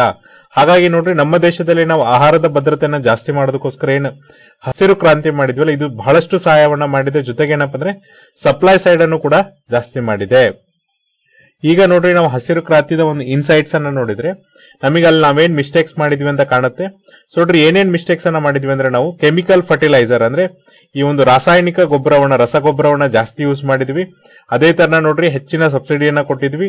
ಇದರಿಂದ ಏನಾಗಿದೆ ಅಂದ್ರೆ ಸಬ್ಸಿಡಿ ಜಾಸ್ತಿ ಇದ್ದಿದ್ದಕ್ಕೋಸ್ಕರ ರಸಗೊಬ್ಬರವನ್ನ ತೆಗೆದುಕೊಂಡಿರೋದ್ರಿಂದ ನಮ್ಮ ಒಂದು ಮಣ್ಣು ಏನಾಗಿದೆಯಲ್ಲ ಅದು ಹಾಳಾಗಿದೆ. ಇದ್ರ ಜೊತೆಗೆ ನೋಡ್ರಿ ನಾವ್ ಏನಾಗಿದೀವಿ ಅಂದ್ರೆ ಜಾಸ್ತಿ ಯಾವ್ದ್ರ ಮೇಲೆ ನಿರ್ಭರತೆ ಆಗಿದ್ವಪ್ಪ ಅಂದ್ರೆ ಪ್ರೊಕ್ಯೂರ್ಮೆಂಟ್ ಪ್ರೈಸ್ ಮೇಲೆ. ಅಂದ್ರೆ ನೋಡ್ರಿ, ಸರ್ಕಾರ ಇಷ್ಟು ರೇಟಿಗೆ ಆಹಾರ ಧಾನ್ಯಗಳನ್ನ ಪ್ರೊಡ್ಯೂಸ್ ಖರೀದಿ ಮಾಡತ್ತಂತೆ ನಾವು ಪ್ರೊಕ್ಯೂರ್ಮೆಂಟ್ ಪ್ರೈಸ್ ಮೇಲೆ ಏನಪ್ಪ ಅಂದ್ರೆ ಹೆಚ್ಚು ನಿರ್ಭರತೆ ಆದ್ವಿ. ಹೀಗಾಗಲ್ಲ ಏನಪ್ಪ ಅಂದ್ರೆ ಪ್ರೊಡಕ್ಟಿವಿಟಿ ಜಾಸ್ತಿ ಆಗ್ಲಿಲ್ಲ. ಅಂದ್ರೆ ನೋಡ್ರಿ ಫಾರ್ಮ್ ಇನ್ಕಮ್ ಯಾವಾಗ ಜಾಸ್ತಿ ಆಗುತ್ತೆ, ರೈತರ ಒಂದು ಆದಾಯ ಯಾವಾಗ ಜಾಸ್ತಿ ಆಗುತ್ತೆ ಅಂದ್ರೆ ಅಲ್ಲಿ ಪ್ರೊಡಕ್ಟಿವಿಟಿ ಜಾಸ್ತಿ ಆದಾಗ, ಅಂದ್ರೆ ಅಲ್ಲಿ ಉತ್ಪಾದನೆ ಜಾಸ್ತಿ ಆದಾಗ ಜಾಸ್ತಿ ಆಗುತ್ತೆ. ನಾವು ಪ್ರೊಡಕ್ಟಿವಿಟಿನ ಜಾಸ್ತಿ ಮಾಡಿದ್ರೆ ಜಸ್ಟ್ ಏನಪ್ಪ ಅಂದ್ರೆ ಪ್ರೊಕ್ಯೂರ್ಮೆಂಟ್ ಪ್ರೈಸ್ ಮೇಲೆ ಹೆಚ್ಚಿನ ನಿರ್ಭರತೆ ಆದ್ವಿ. ಇದರಿಂದ ಏನಾಯ್ತಪ್ಪ ಅಂದ್ರೆ ಮುಂದೆ ಹಣದುಬ್ಬರನು ಕೂಡ ಉಂಟಾಯ್ತು. ಆಮೇಲೆ ನೋಡ್ರಿ, ಈ ಒಂದು ಪಾಲಿಸಿ ಏನಿದೆ ಅಥವಾ ಈ ಒಂದು ಯೋಜನೆ ಏನಿದೆ, ಇದು ಜಾಸ್ತಿ ಫೋಕಸ್ ಯಾವ್ದ ಮೇಲೆ ಮಾಡ್ತಪ್ಪ ಅಂದ್ರೆ ಪಲ್ಸಸ್ ಅಂದ್ರೆ ದವಸ ಧಾನ್ಯಗಳಂತ ನಾವೇನ್ ಕರಿತೀವಲ್ಲ, ಅದ್ರ ಮೇಲೆ ಫೋಕಸ್ ಮಾಡ್ತು. ಸಾರಿ ಇದು ಏನ್ ಮಾಡ್ತಪ್ಪ ಅಂದ್ರೆ ಇದು ಸೆರಲ್ಸ್ ಮೇಲೆ ಜಾಸ್ತಿ ಫೋಕಸ್ ಮಾಡ್ತು. ಸೆರಲ್ಸ್ ಅಂದ್ರೆ ದವಸ ಧಾನ್ಯಗಳಂತ ಏನ್ ಕರಿತೀವಲ್ಲ, ಸೆರಲ್ಸ್ ಮೇಲೆ ನಾವು ಜಾಸ್ತಿ ಫೋಕಸ್ ಮಾಡ್ತು. ಹೊರತಾಗಿ ಪಲ್ಸಸ್ ಮೇಲೆ, ಅಂದ್ರೆ ಬೇಳೆ ಕಾಳುಗಳಂತ ನಾವೇನ್ ಕರಿತೀವಲ್ಲ, ಬೇಳೆ ಕಾಳುಗಳ ಮೇಲೆ ಇವರು ಫೋಕಸ್ ಅನ್ನ ಮಾಡಲಿಲ್ಲ. ಸೊ ನೋಡ್ರಿ, ಬೇಳೆ ಕಾಳು ಅನ್ನೋದೇನಪ್ಪ ಅಂದ್ರೆ ಬಹಳಷ್ಟು ಭಾರತೀಯರಿಗೆ ಏನಪ್ಪ ಅಂದ್ರೆ ಇದು ರಿಚ್ ಪ್ರೋಟೀನ್ ಡಯಟ್ ಆಗಿದೆ. ಈಗ ರೈಸ್ ಮಾಡಿದ್ರೆ ಸಾಂಬಾರ್ ಮಾಡ್ತಿರಲ್ಲ, ಬೇಳೆ ಕಾಳುಗಳನ್ನ ಏನ್ ಬರೆಸ್ತಿರಲ್ಲ, ಇದು ಹೆಚ್ಚಿನ ಪ್ರೋಟೀನ್ ಡಯಟ್ ಅನ್ನ ನಮಗೆ ಒದಗಿಸಿ ಕೊಡುತ್ತೆ. ಆದ್ರೆ ನೋಡ್ರಿ, ಈಗ ನಾವೇನಪ್ಪ ಅಂದ್ರೆ ಈ ಒಂದು ಆರ್ಥಿಕ ಪಾಲಿಸಿ ಏನಿದೆ ಅಥವಾ ಆರ್ಥಿಕ ಯೋಜನೆ ಇದೆಯಲ್ಲ ಅದರಿಂದ ನಾವು ಯಾವುದೇ ತರನಾದ ಮಿಸ್ಟೇಕ್ಸ್ ಅನ್ನ ಕ್ಯಾರಿ ಫಾರ್ವರ್ಡ್ ಮಾಡದೆ ಅದರ ಸಕ್ಸಸ್ ಅನ್ನ ತೆಗೆದುಕೊಳ್ಬೇಕು. ಅದೇ ತರನಾಗಿ ನೋಡ್ರಿ, ಈಗ ನಾವೇನ್ ಮಾಡ್ಬೇಕಂದ್ರೆ ಆಹಾರದ ಒಂದು ಭದ್ರತೆನ ಯಾವ ತರನಾಗಿ ಮಾಡಬೇಕು ಮತ್ತೆ ಕಾಸ್ಟ್ ಆಫ್ ಪ್ರೊಡ್ಯೂಸಿಂಗ್ ಫುಡ್ ಏನಿದೆಯಲ್ಲ, ಅದನ್ನ ಕಮ್ಮಿ ಮಾಡಬೇಕು. ಅಂದ್ರೆ ಈಗ ಬರುವಂತ ಯೋಜನೆ ನಮ್ಮ ಮುಖ್ಯ ಗುರಿ ಏನಿರ್ಬೇಕಪ್ಪ ಅಂದ್ರೆ, ಈ ಒಂದು ಆಹಾರವನ್ನ ಪ್ರೊಡ್ಯೂಸ್ ಮಾಡುವಂತ ಒಂದು ಬೆಲೆ ಏನಿದೆ, ಅದು ಕಮ್ಮಿ ಮಾಡೋದು ನಮ್ಮ ಮುಖ್ಯ ಗುರಿ ಆಗಿರಬೇಕು. ನೋಡ್ರಿ ಹಸಿರು ಕ್ರಾಂತಿಯಲ್ಲಿ ಏನಪ್ಪ ಅಂದ್ರೆ ಸ್ಪೆಸಿಫಿಕ್ ಅಜೆಂಡಾ ಇತ್ತು. ಏನಪ್ಪ ಅಂದ್ರೆ ಭಾರತವನ್ನ ಆತ್ಮನಿರ್ಭರತೆ ಮಾಡೋದು. ಎಸ್ಪೆಷಲಿ ಯಾವ್ದ್ರಲ್ಲಿ ಅಂದ್ರೆ ಆಹಾರದ ವಿಷಯದಲ್ಲಿ ಆತ್ಮನಿರ್ಭರತೆ ಮಾಡೋದು. ಅದರ ಸ್ಪೆಸಿಫಿಕ್ ಅಜೆಂಡಾ ಆಗಿತ್ತು, ಅದನ್ನ ಅವ್ರು ಅಚೀವ್ ಮಾಡಿದ್ರು. ಅದನ್ನ ನಾವೇನಪ್ಪ ಅಂದ್ರೆ ಶಾರ್ಟ್ ಟೈಮ್ ಅಲ್ಲಿ ಅಚೀವ್ ಮಾಡಿದ್ವಿ. ಆದ್ರೆ ನೋಡ್ರಿ, ನಾವು ಹೆಚ್ಚಿನ ಅಟೆನ್ಷನ್ ಅನ್ನ ಯಾವ್ದು ಕೊಡ್ಲಿಲ್ಲ ಅಂದ್ರೆ ನಾವು ಒಂದು ಆಹಾರವನ್ನ ಪ್ರೊಡ್ಯೂಸ್ ಮಾಡಕ್ಕೆ ಅಥವಾ ಈ ಆಹಾರವನ್ನ ಉತ್ಪಾದನೆ ಮಾಡಕ್ಕೆ ಎಷ್ಟು ಹಣವನ್ನ ವೆಚ್ಚ ಮಾಡ್ತಿದ್ವಲ್ಲ, ಅದ್ರ ಬಗ್ಗೆ ಯೋಚನೆ ಮಾಡಲಿಲ್ಲ. ಜಸ್ಟ್ ಏನಪ್ಪ ಅಂದ್ರೆ ಆಹಾರದ ಉತ್ಪಾದನೆ ಬಗ್ಗೆ ಮಾತ್ರ ಇಲ್ಲಿ ಯೋಚನೆ ಮಾಡಿದ್ವಿ. ಆ ಉತ್ಪಾದನೆಗೆ ಎಷ್ಟು ವೆಚ್ಚ ತಗಲುತ್ತಲ್ಲ, ಅದ್ರ ಬಗ್ಗೆ ನಾವೇನಪ್ಪ ಅಂದ್ರೆ ಯೋಚನೆನ ಮಾಡಲಿಲ್ಲ. ಹಾಗಾಗಿ ನೋಡ್ರಿ, ಈಗ ಎರಡನೇ ಅಗ್ರಿಕಲ್ಚರ್ ರೆವಲ್ಯೂಷನ್ಸ್ ಬೇಕಾಗಿದೆ. ಅದಕ್ಕೋಸ್ಕರ ನಾವೇನ್ ಮಾಡ್ಬೇಕಾಗಿದೆ ಅಂದ್ರೆ, ಇದೇ ತರನಾಂತ ಆರ್ಥಿಕ ಯೋಜನೆನ ಇಲ್ಲಿ ಜಾರಿಗೆ ತರಬೇಕಾಗಿದೆ. ಅದಕ್ಕೋಸ್ಕರ ನೋಡ್ರಿ ಮಿಷನ್ ಮೋಡ್ ಅನ್ನೋದು ನೆಸೆಸರಿ ಆಗಿದೆ. ಸೊ ಇಲ್ಲಿ ಪ್ರೊಕ್ಯೂರ್ಮೆಂಟ್ ಪ್ರೈಸಸ್ ಇರ್ಬೋದು ಕ್ಯಾಶ್ ಕ್ಯಾಶ್ ಟ್ರಾನ್ಸ್ಫರ್ಸ್ ಇರೋದು ಅವು ಇಂಪಾರ್ಟೆಂಟ್ ಆಗುತ್ತೆ. ಆಮೇಲೆ ಪಬ್ಲಿಕ್ ಡಿಸ್ಟ್ರಿಬ್ಯೂಷನ್ ಸಿಸ್ಟಮ್ ಅಂದ್ರೆ ಈಗ ನಿಮಗೆ ರೇಷನ್ ಅಂಗಡಿಲಿ ಏನ್ ರೇಷನ್ ಕೊಡ್ತಾರಲ್ಲ, ಅದು ಕೂಡ ಇಂಪಾರ್ಟೆಂಟ್ ಆಗಿರುತ್ತೆ. ಜೊತೆಗೆ ನೋಡ್ರಿ, ಕೇವಲ ನ್ಯಾಷನಲೈಸ್ಡ್ ಬ್ಯಾಂಕ್ ಇಂದ ಅಥವಾ ಪ್ರಿಯಾರಿಟಿ ಲೆಂಡಿಂಗ್ ಅನ್ನೋದೇನಪ್ಪ ಅಂದ್ರೆ ಪಬ್ಲಿಕ್ ಸೆಕ್ಟರ್ಸ್ ಬ್ಯಾಂಕ್ ಇಂದ ಕೊಡೋದ್ರಿಂದ ಮಾತ್ರ ಸಾಧ್ಯ ಆಗಲ್ಲ. ಬದಲಾಗಿ ನೀವೇನಪ್ಪ ಅಂದ್ರೆ ಪ್ರೈವೇಟ್ ಸೆಕ್ಟರ್ ಬ್ಯಾಂಕ್ಸ್ ಇಂದನೂ ಕೂಡ ಇಲ್ಲಿ ಕೊಡಬೇಕಾಗತ್ತೆ. ಇದ್ರ ಜೊತೆಗೆ ನೋಡ್ರಿ, ನಾವೇನ್ ಮಾಡ್ಬೇಕಂದ್ರೆ ಈಗ ಹೊಲದಲ್ಲಿ ನಾವ್ ಎಷ್ಟು ಇಲ್ಡ್ ಅನ್ನ ಜಾಸ್ತಿ ಮಾಡ್ಬೋದಲ್ಲ ಅದ್ರ ಇಂಟರ್ವೆನ್ಷನ್ಸ್ ಅನ್ನ ಮಾಡ್ಬೇಕಾಗಿದೆ. ಅಂದ್ರೆ ನೋಡ್ರಿ, ಎಷ್ಟು ನಾವು ಜಾಸ್ತಿ ಉತ್ಪಾದನೆಯನ್ನ ಮಾಡಬಹುದು ಮತ್ತೆ ಎಷ್ಟು ಕಾಸ್ಟ್ ಆಫ್ ಪ್ರೊಡಕ್ಷನ್ ಅನ್ನ ಕಮ್ಮಿ ಮಾಡಬಹುದು ಅಂದ್ರೆ ಆಹಾರವನ್ನು ಉತ್ಪಾದನೆ ಮಾಡಕ್ಕೆ ನಾವು ಒಂದು ಹೊಲದಲ್ಲಿ ಏನಾದ್ರೂ ಬೆಳಿತಿದೀವಿ ಅಂದ್ರೆ ಅಲ್ಲಿ ಉತ್ಪಾದನೆ ಅದಕ್ಕೆ ಉತ್ಪಾದನೆ ಉತ್ಪಾದನೆ ಮಾಡಕ್ಕೆ ತಗಲುವ ವೆಚ್ಚ ಏನಿದೆಯಲ್ಲ ಆ ವೆಚ್ಚವನ್ನ ಕಮ್ಮಿ ಮಾಡಬೇಕಾಗತ್ತೆ. ಸೊ ನೋಡ್ರಿ ಅದನ್ನ ನಾವೇನಪ್ಪ ಅಂದ್ರೆ ಕಡಿಮೆ ಮಾಡಬೇಕಾಗತ್ತೆ. ಜೊತೆಗೆ ನೋಡ್ರಿ ನಾವು ಈಸ್ಟ್ ಏಷ್ಯಾ ಕಂಪೇರ್ ಮಾಡಿದ್ರೆ ಅಂದ್ರೆ ಈ ಒಂದು ಪೂರ್ವ ಏಷ್ಯಾ ಕಂಪೇರ್ ಮಾಡಿದ್ರೆ ನಮ್ಮ ದೇಶದಲ್ಲಿ ನೋಡ್ರಿ ಅಗ್ರಿಕಲ್ಚರ್ ಇಲ್ಡ್ ಅಥವಾ ಅಗ್ರಿಕಲ್ಚರ್ ಉತ್ಪಾದನೆ ಏನಿದೆ ಅಂದ್ರೆ ಕಮ್ಮಿ ಇದೆ. ಫಾರ್ ಎಕ್ಸಾಂಪಲ್ ನೋಡ್ರಿ, ಬೇರೆ ಒಂದು ಈಸ್ಟ್ ಏಷ್ಯಾ ನೀವು ಪೂರ್ವ ಏಷ್ಯಾನ ಕಂಪೇರ್ ಮಾಡಿದ್ರೆ ಒಂದ್ ಎಕರೆಯಲ್ಲಿ ಅವರು ನೂರು ಚೀಲ ಭತ್ತವನ್ನ ಬೆಳೆದ್ರೆ ನಾವೇನ್ ಮಾಡ್ತಿದ್ವಿ ಅಂದ್ರೆ ಎಂಬತ್ತು, ಎಪ್ಪತ್ತು ಚೀಲ ಬೆಳಿತಿದ್ವಿ. ಈ ಉತ್ಪಾದನೆಯನ್ನು ನಾವು ಜಾಸ್ತಿ ಮಾಡಬೇಕಾಗಿದೆ. ಅದಕ್ಕೋಸ್ಕರ ನೋಡ್ರಿ ನಾವೇನಪ್ಪ ಅಂದ್ರೆ ಹೆಚ್ಚಿನ ಫೋಕಸ್ ಅನ್ನ ಮಾಡಬೇಕಾಗಿದೆ. ಸೊ ಅಟೆನ್ಷನ್ ಅನ್ನ ಯಾವ್ದು ಕೊಡ್ಬೇಕಪ್ಪ ಅಂದ್ರೆ ಅಗ್ರಿಕಲ್ಚರ್ ಇರಿಗೇಷನ್ ಸಿಸ್ಟಮ್ ಏನಿದೆ, ಅಂದ್ರೆ ನೀರಾವರಿಗೆ ಹೆಚ್ಚಿನ ಫೋಕಸ್ ಅನ್ನ ಮಾಡಬೇಕಾಗಿದೆ. ಜೊತೆಗೆ ನೋಡ್ರಿ ಎಲ್ಲೆಲ್ಲಿ ಈ ಬೀಜವನ್ನ ಬಿತ್ತಾರಲ್ಲ ಅಲ್ಲೆಲ್ಲ ಕೂಡ ನಾವೇನ್ ಮಾಡ್ಬೇಕಾಗತ್ತೆ ಅಂದ್ರೆ ಹಂಡ್ರೆಡ್ ಪರ್ಸೆಂಟ್ ಇರಿಗೇಷನ್ ಫೆಸಿಲಿಟಿನ ಕೊಡಬೇಕಾಗಿದೆ. ಅದೇ ತರ ನೋಡ್ರಿ, ಈ ಲೀಸಿಂಗ್ ಆಫ್ ಲ್ಯಾಂಡ್ ಏನಿದೆಯಲ್ಲ ಅಲ್ಲಿ ರಿಸ್ಟ್ರಿಕ್ಷನ್ಸ್ನ ಮಾಡಬೇಕಾಗಿದೆ. ಜೊತೆಗೆ ಏನಪ್ಪಾ ಅಂದ್ರೆ ಅಗ್ರಿಕಲ್ಚರ್ ರಿಸರ್ಚ್ ಸೆಂಟರ್ಸ್ ಏನಿದೆಯಲ್ಲ ಅವುಗಳನ್ನು ಕೂಡ ಜಾಸ್ತಿ ಮಾಡಿ ಪ್ರತಿಯೊಂದು ಪ್ರದೇಶಕ್ಕೂ ಕೂಡ ಏನಪ್ಪಾ ಅಂದ್ರೆ ಒಂದೊಂದು ಅಗ್ರಿಕಲ್ಚರ್ ರಿಸರ್ಚ್ ಇನ್ಸ್ಟಿಟ್ಯೂಟ್ನ ನಾವು ತೆಗಿಬೇಕಾಗತ್ತೆ. ಹಾಗಾದ್ರೆ ನಾವೆಲ್ಲ ಏನೆಲ್ಲ ಇನಿಷಿಯೇಟಿವ್ಸ್ನ ತೆಗೆದುಕೊಳ್ಬಹುದಪ್ಪ ಅಂದ್ರೆ ಸೊ ನೋಡ್ರಿ ಕೆಲವೊಂದಿಷ್ಟು ಪ್ರಪೋಸಲ್ಸ್ನ ಕೊಟ್ಟಿದ್ರೆ ಅವುಗಳನ್ನ ನಾವು ಮಾಡಬೇಕಾಗತ್ತೆ. ನೋಡ್ರಿ, ನಾವು ಫಸ್ಟ್ ಏನ್ ಮಾಡ್ಬೇಕಾಗತ್ತೆ ಅಂದ್ರೆ ಇರಿಗೇಷನ್ ಮೇಲೆ ಪಬ್ಲಿಕ್ ಎಕ್ಸ್ಪೆಂಡಿಚರ್ ಏನಿದೆ, ಸಾರ್ವಜನಿಕ ಖರ್ಚು ಏನಿದೆಯಲ್ಲ, ಅದನ್ನ ಜಾಸ್ತಿ ಮಾಡಬೇಕು. ಜೊತೆಗೆ ನೋಡ್ರಿ, ಇದನ್ನ ಜಾಸ್ತಿ ಮಾಡಿದ್ದು ಕೂಡ ಏನಪ್ಪ ಅಂದ್ರೆ ಇರಿಗೇಟೆಡ್ ಏರಿಯಾ ಅಂದ್ರೆ ಈಗ ನೋಡ್ರಿ, ನಾನು ಒಂದು ಇರಿಗೇಷನ್ ಪ್ರಾಜೆಕ್ಟ್ ಮೇಲೆ ಏನಪ್ಪ ಅಂದ್ರೆ ಒಂದು ನೀರಾವರಿ ಯೋಜನೆಗೋಸ್ಕರ ಒಂದು ನೂರು ಕೋಟಿ, ಸಾವಿರ ಕೋಟಿ ಅಂತ ಮಾಡ್ತೀನಿ. ಬಟ್ ಇಷ್ಟು ಎಕರೆಗೋಸ್ಕರ ಅದನ್ನ ನೀರಾವರಿ ಮಾಡ್ತೀವಿ ಅಂತ ಹೇಳ್ತೀವಿ. ಅಷ್ಟೇ ಎಕರೆ ಅಷ್ಟೇ ಏನಪ್ಪ ಅಂದ್ರೆ ಇಲ್ಲಿ ನೀರಾವರಿ ಎಫೆಕ್ಟಿವ್ ಆಗಿ ಇಂಪ್ಲಿಮೆಂಟೇಷನ್ ಆಗಿರಲ್ಲ. ಇದು ನೋಡ್ರಿ, ಒಂದು ವೇಸ್ಟ್ ಆದ್ರೂ ಆಗಿರ್ಬೋದು ಅಂದ್ರೆ ಈಗ ನಾವೇನು ಯೋಚನೆ ಮಾಡಿರ್ತೀವಲ್ಲ, ಅದು ವೇಸ್ಟ್ ಆದ್ರೂ ಆಗಿರ್ಬೋದು ಅಥವಾ ಆ ಫಂಡ್ ಅನ್ನ ಏನಪ್ಪ ಅಂದ್ರೆ ಬೇರೆ ಕಡೆಗೆ ನಾವು ಡೈವರ್ಷನ್ ಆದ್ರೂ ಮಾಡಿರ್ಬೋದು. ಎರಡು ಸಮಸ್ಯೆಗಳಿಂದ ಇದು ಕೂಡಿದೆ. ಇದನ್ನ ನಾವೇನ್ ಮಾಡ್ಬೇಕಂದ್ರೆ ಮೊದಲು ಬಗೆಹರಿಸಬೇಕು. ಜೊತೆಗೆ ನೋಡ್ರಿ, ಈಗ ಏನಾಗ್ತಿದೆ ಅಂದ್ರೆ ಚಿಕ್ಕ ಹಿಡುವಳಿದಾರರಲ್ಲಿ ಏನಾಗ್ತಿದೆ ಅಂದ್ರೆ ಮತ್ತೆ ಫ್ರಾಗ್ಮೆಂಟೇಷನ್ಸ್ ಆಗ್ತಿದೆಯಲ್ಲ, ಅದನ್ನ ನಾವು ಕಡಿಮೆ ಮಾಡ್ಬೇಕು. ಯಾಕಂದ್ರೆ ನೋಡ್ರಿ, ಇಲ್ಲಿ ಉತ್ಪಾದನೆ ಅಥವಾ ಉತ್ಪಾದಕತೆ ಏನಿದೆಯಲ್ಲ, ಅದು ಕಮ್ಮಿ ಆಗ್ತಾ ಹೋಗುತ್ತೆ. ಇದ್ರ ಜೊತೆಗೆ ಏನಪ್ಪಾ ಅಂದ್ರೆ ಕ್ಯಾಪಿಟಲ್ ಇನ್ವೆಸ್ಟ್ಮೆಂಟ್ ಅನ್ನು ಕೂಡ ನಾವು ಜಾಸ್ತಿ ಮಾಡಬೇಕು. ಅದಕ್ಕೋಸ್ಕರ ಒಂದೇ ಒಂದು ಸೊಲ್ಯೂಷನ್ಸ್ ಏನಪ್ಪಾ ಅಂದ್ರೆ ಲೀಸಿಂಗ್ ಅಂದ್ರೆ ಎಲ್ಲರೂ ಕೂಡಿ ಒಟ್ಟಾಗಿ ಏನ್ ಮಾಡೋದಪ್ಪ ಅಂದ್ರೆ ಹೊಲಗಳನ್ನು ಉಳುಮೆ ಮಾಡೋದು ಇದು ಒಂದು ಸೊಲ್ಯೂಷನ್ಸ್ ಆಗಿದೆ.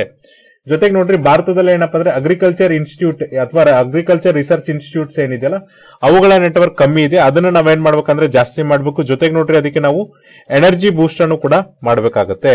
ಅಂದ್ರೆ ಹತ್ತೊಂಬತ್ತು ನೂರ ಅರವತ್ತರಲ್ಲಿ ಯಾವಾಗ ಹಸಿರು ಕ್ರಾಂತಿ ಬಂತಲ್ಲ, ಯಾವ ತರನಂತ ಪಾತ್ರವನ್ನ ನಿರ್ವಹಿಸ್ತಲ್ಲ, ಅದೇ ತರನಂತ ಪಾತ್ರವನ್ನ ನಿರ್ವಹಿಸಕ್ಕೆ ನಾವೇನ್ ಮಾಡ್ಬೇಕಾಗತ್ತೆ ಅಂದ್ರೆ ಎನರ್ಜೈಸ್ ಮಾಡ್ಬೇಕಾಗತ್ತೆ. ಅದೇ ತರ ನೋಡ್ರಿ ಹತ್ತೊಂಬತ್ತು ನೂರ ಅರವತ್ತರಲ್ಲಿ ಏನಪ್ಪಾ ಅಂದ್ರೆ, ಈ ಹಸಿರು ಕ್ರಾಂತಿ ಬಂದಾಗ ಪ್ರತಿಯೊಂದು ಹಳ್ಳಿಯಲ್ಲೂ ಕೂಡ ಏನಪ್ಪಾ ಅಂದ್ರೆ ಗ್ರಾಮ ಸೇವಕ ಅಂತ ಇರ್ತಿದ್ರು. ಈ ಗ್ರಾಮ ಸೇವಕ ಏನ್ ಮಾಡ್ತಿದ್ರು ಅಂದ್ರೆ ಬೆಸ್ಟ್ ಪ್ರಾಕ್ಟೀಸ್ ಏನಿದೆ ಅಂದ್ರೆ ನೀವು ಯಾವ ತರನಾಗಿ ಒಂದು ಒಳ್ಳೆ ಪ್ರಾಕ್ಟೀಸ್ ಅನ್ನ ಅಳವಡಿಸ್ಕೊಂಡು ಏನ್ ಮಾಡ್ಬೋದಪ್ಪ ಅಂದ್ರೆ, ಹೊಲದಲ್ಲಿ ಬೆಳೆಗಳನ್ನ ಬೆಳಿಬಹುದು ಅಂತ ಹೇಳ್ತಿದ್ರಲ್ಲ ಅವುಗಳು ಈಗ ಕಾಣ್ತಾ ಇಲ್ಲ. ಹಾಗಾಗಿ ನೋಡ್ರಿ, ಆ ಪ್ರಾಕ್ಟೀಸ್ ಇರ್ಬೋದು ಮತ್ತೆ ಗ್ರಾಮ ಸೇವಕ ಅನ್ನೋ ಒಂದು ಹುದ್ದೆಯನ್ನು ಇಲ್ಲಿ ಎಸ್ಟಾಬ್ಲಿಷ್ ಮಾಡೋದು ಕೂಡ ತುಂಬಾ ಉತ್ತಮ ಅಂತ ಹೇಳ್ತಿದ್ದಾರೆ. ಯಾಕಂದ್ರೆ ನೋಡ್ರಿ, ಅವರು ಪ್ರತಿಯೊಬ್ಬರಿಗೂ ಕೂಡ ಗೈಡೆನ್ಸ್ ಅನ್ನ ಕೊಡ್ತಾರೆ. ಯಾವ ತರನಾಗಿ ನಿಮ್ಮ ಹೊಲದಲ್ಲಿ ಏನು ಬೆಳೆಗಳನ್ನ ಬೆಳೆದ್ರೆ ಜಾಸ್ತಿ ಉತ್ಪಾದನೆ ಬರುತ್ತೆ ಅಂತ ಅವರು ಹೇಳ್ತಾ ಹೋಗ್ತಾರೆ. ಹಾಗಾಗಿ ನೋಡ್ರಿ, ಇಷ್ಟೆಲ್ಲ ನಾವು ಜಾಸ್ತಿ ಮಾಡಿದಾಗ ಏನಾಗತ್ತಪ್ಪ ಅಂದ್ರೆ ಈ ಎಲ್ಲ ಇನಿಷಿಯೇಟಿವ್ಸ್ನ ತೆಗೆದುಕೊಂಡಾಗ ಏನಾಗುತ್ತೆ ಅಂದ್ರೆ ನಮ್ಮಲ್ಲಿ ಪ್ರೋಟೀನ್ ಪ್ರೊಡಕ್ಷನ್ ಜಾಸ್ತಿ ಆಗುತ್ತೆ. ಅಂದ್ರೆ ನೋಡ್ರಿ, ಭಾರತೀಯರಲ್ಲಿ ಈಗ ತುಂಬಾ ಡೆಫಿಸಿಟ್ ಇರೋದು, ತುಂಬಾ ಕಡಿಮೆ ಇರೋದು ಏನಪ್ಪ ಅಂದ್ರೆ ಪ್ರೋಟೀನೇ ಕಡಿಮೆ ಇದೆ. ಹಾಗಾಗಿ ನಾವು ಪ್ರೋಟೀನ್ ಪ್ರೊಡಕ್ಷನ್ಸ್ನ ಜಾಸ್ತಿ ಮಾಡಬೇಕಾದ್ರೆ ಈ ಎಲ್ಲ ಇನಿಷಿಯೇಟಿವ್ಸ್ನ ನಾವು ತೆಗೆದುಕೊಳ್ಬೇಕಾಗತ್ತೆ. ಇದ್ರ ಜೊತೆಗೆ ನೋಡ್ರಿ, ಇನ್ನೂ ಒಂದ್ ಏನ್ ಮಾಡ್ಬೋದಪ್ಪ ಅಂದ್ರೆ, ರಾಜ್ಯಗಳ ಪಾತ್ರನೂ ಕೂಡ ಇಲ್ಲಿ ತುಂಬಾ ಮಹತ್ವವಾಗಿರುತ್ತೆ. ಹತ್ತೊಂಬತ್ ನೂರ ಅರವತ್ತರಲ್ಲಿ ನೋಡ್ರಿ, ರಾಜ್ಯಗಳು ಏನ್ ಮಾಡಿದ್ವಪ್ಪ ಅಂದ್ರೆ, ಕೇಂದ್ರ ಸರ್ಕಾರ ರಾಜ್ಯ ಸರ್ಕಾರಕ್ಕೆ ಏನ್ ಅಂದ್ರೆ, ಹೊಸ ಹೊಸ ತಂತ್ರಜ್ಞಾನಗಳ ಜೊತೆ ನೀವು ಕೆಲಸವನ್ನ ಮಾಡ್ರಿ ಅಂತ ಹೇಳಿತ್ತು. ಅಂದ್ರೆ ಹೊಸದಾಗಿ ಯಾವ್ಯಾವ ತಂತ್ರಜ್ಞಾನಗಳು ಬರುತ್ತಲ್ಲ ಅವುಗಳನ್ನ ನೀವು ಕೃಷಿಯಲ್ಲಿ ಬಳಸ್ರಿ ಅಂತ ಹೇಳಿದ್ರು. ನೋಡ್ರಿ ಅವುಗಳನ್ನ ಅವ್ರು ಏನ್ ಮಾಡಿದ್ರು ಅಂದ್ರೆ ಈ ತಂತ್ರಜ್ಞಾನಗಳನ್ನ ಬಳಸೋದಕ್ಕೋಸ್ಕರ ನೋಡ್ರಿ, ಕೇಂದ್ರ ಸರ್ಕಾರ, ರಾಜ್ಯ ಸರ್ಕಾರದ ಜೊತೆ ಜೊತೆಗೆ ಕೆಲಸ ಮಾಡಿತ್ತು.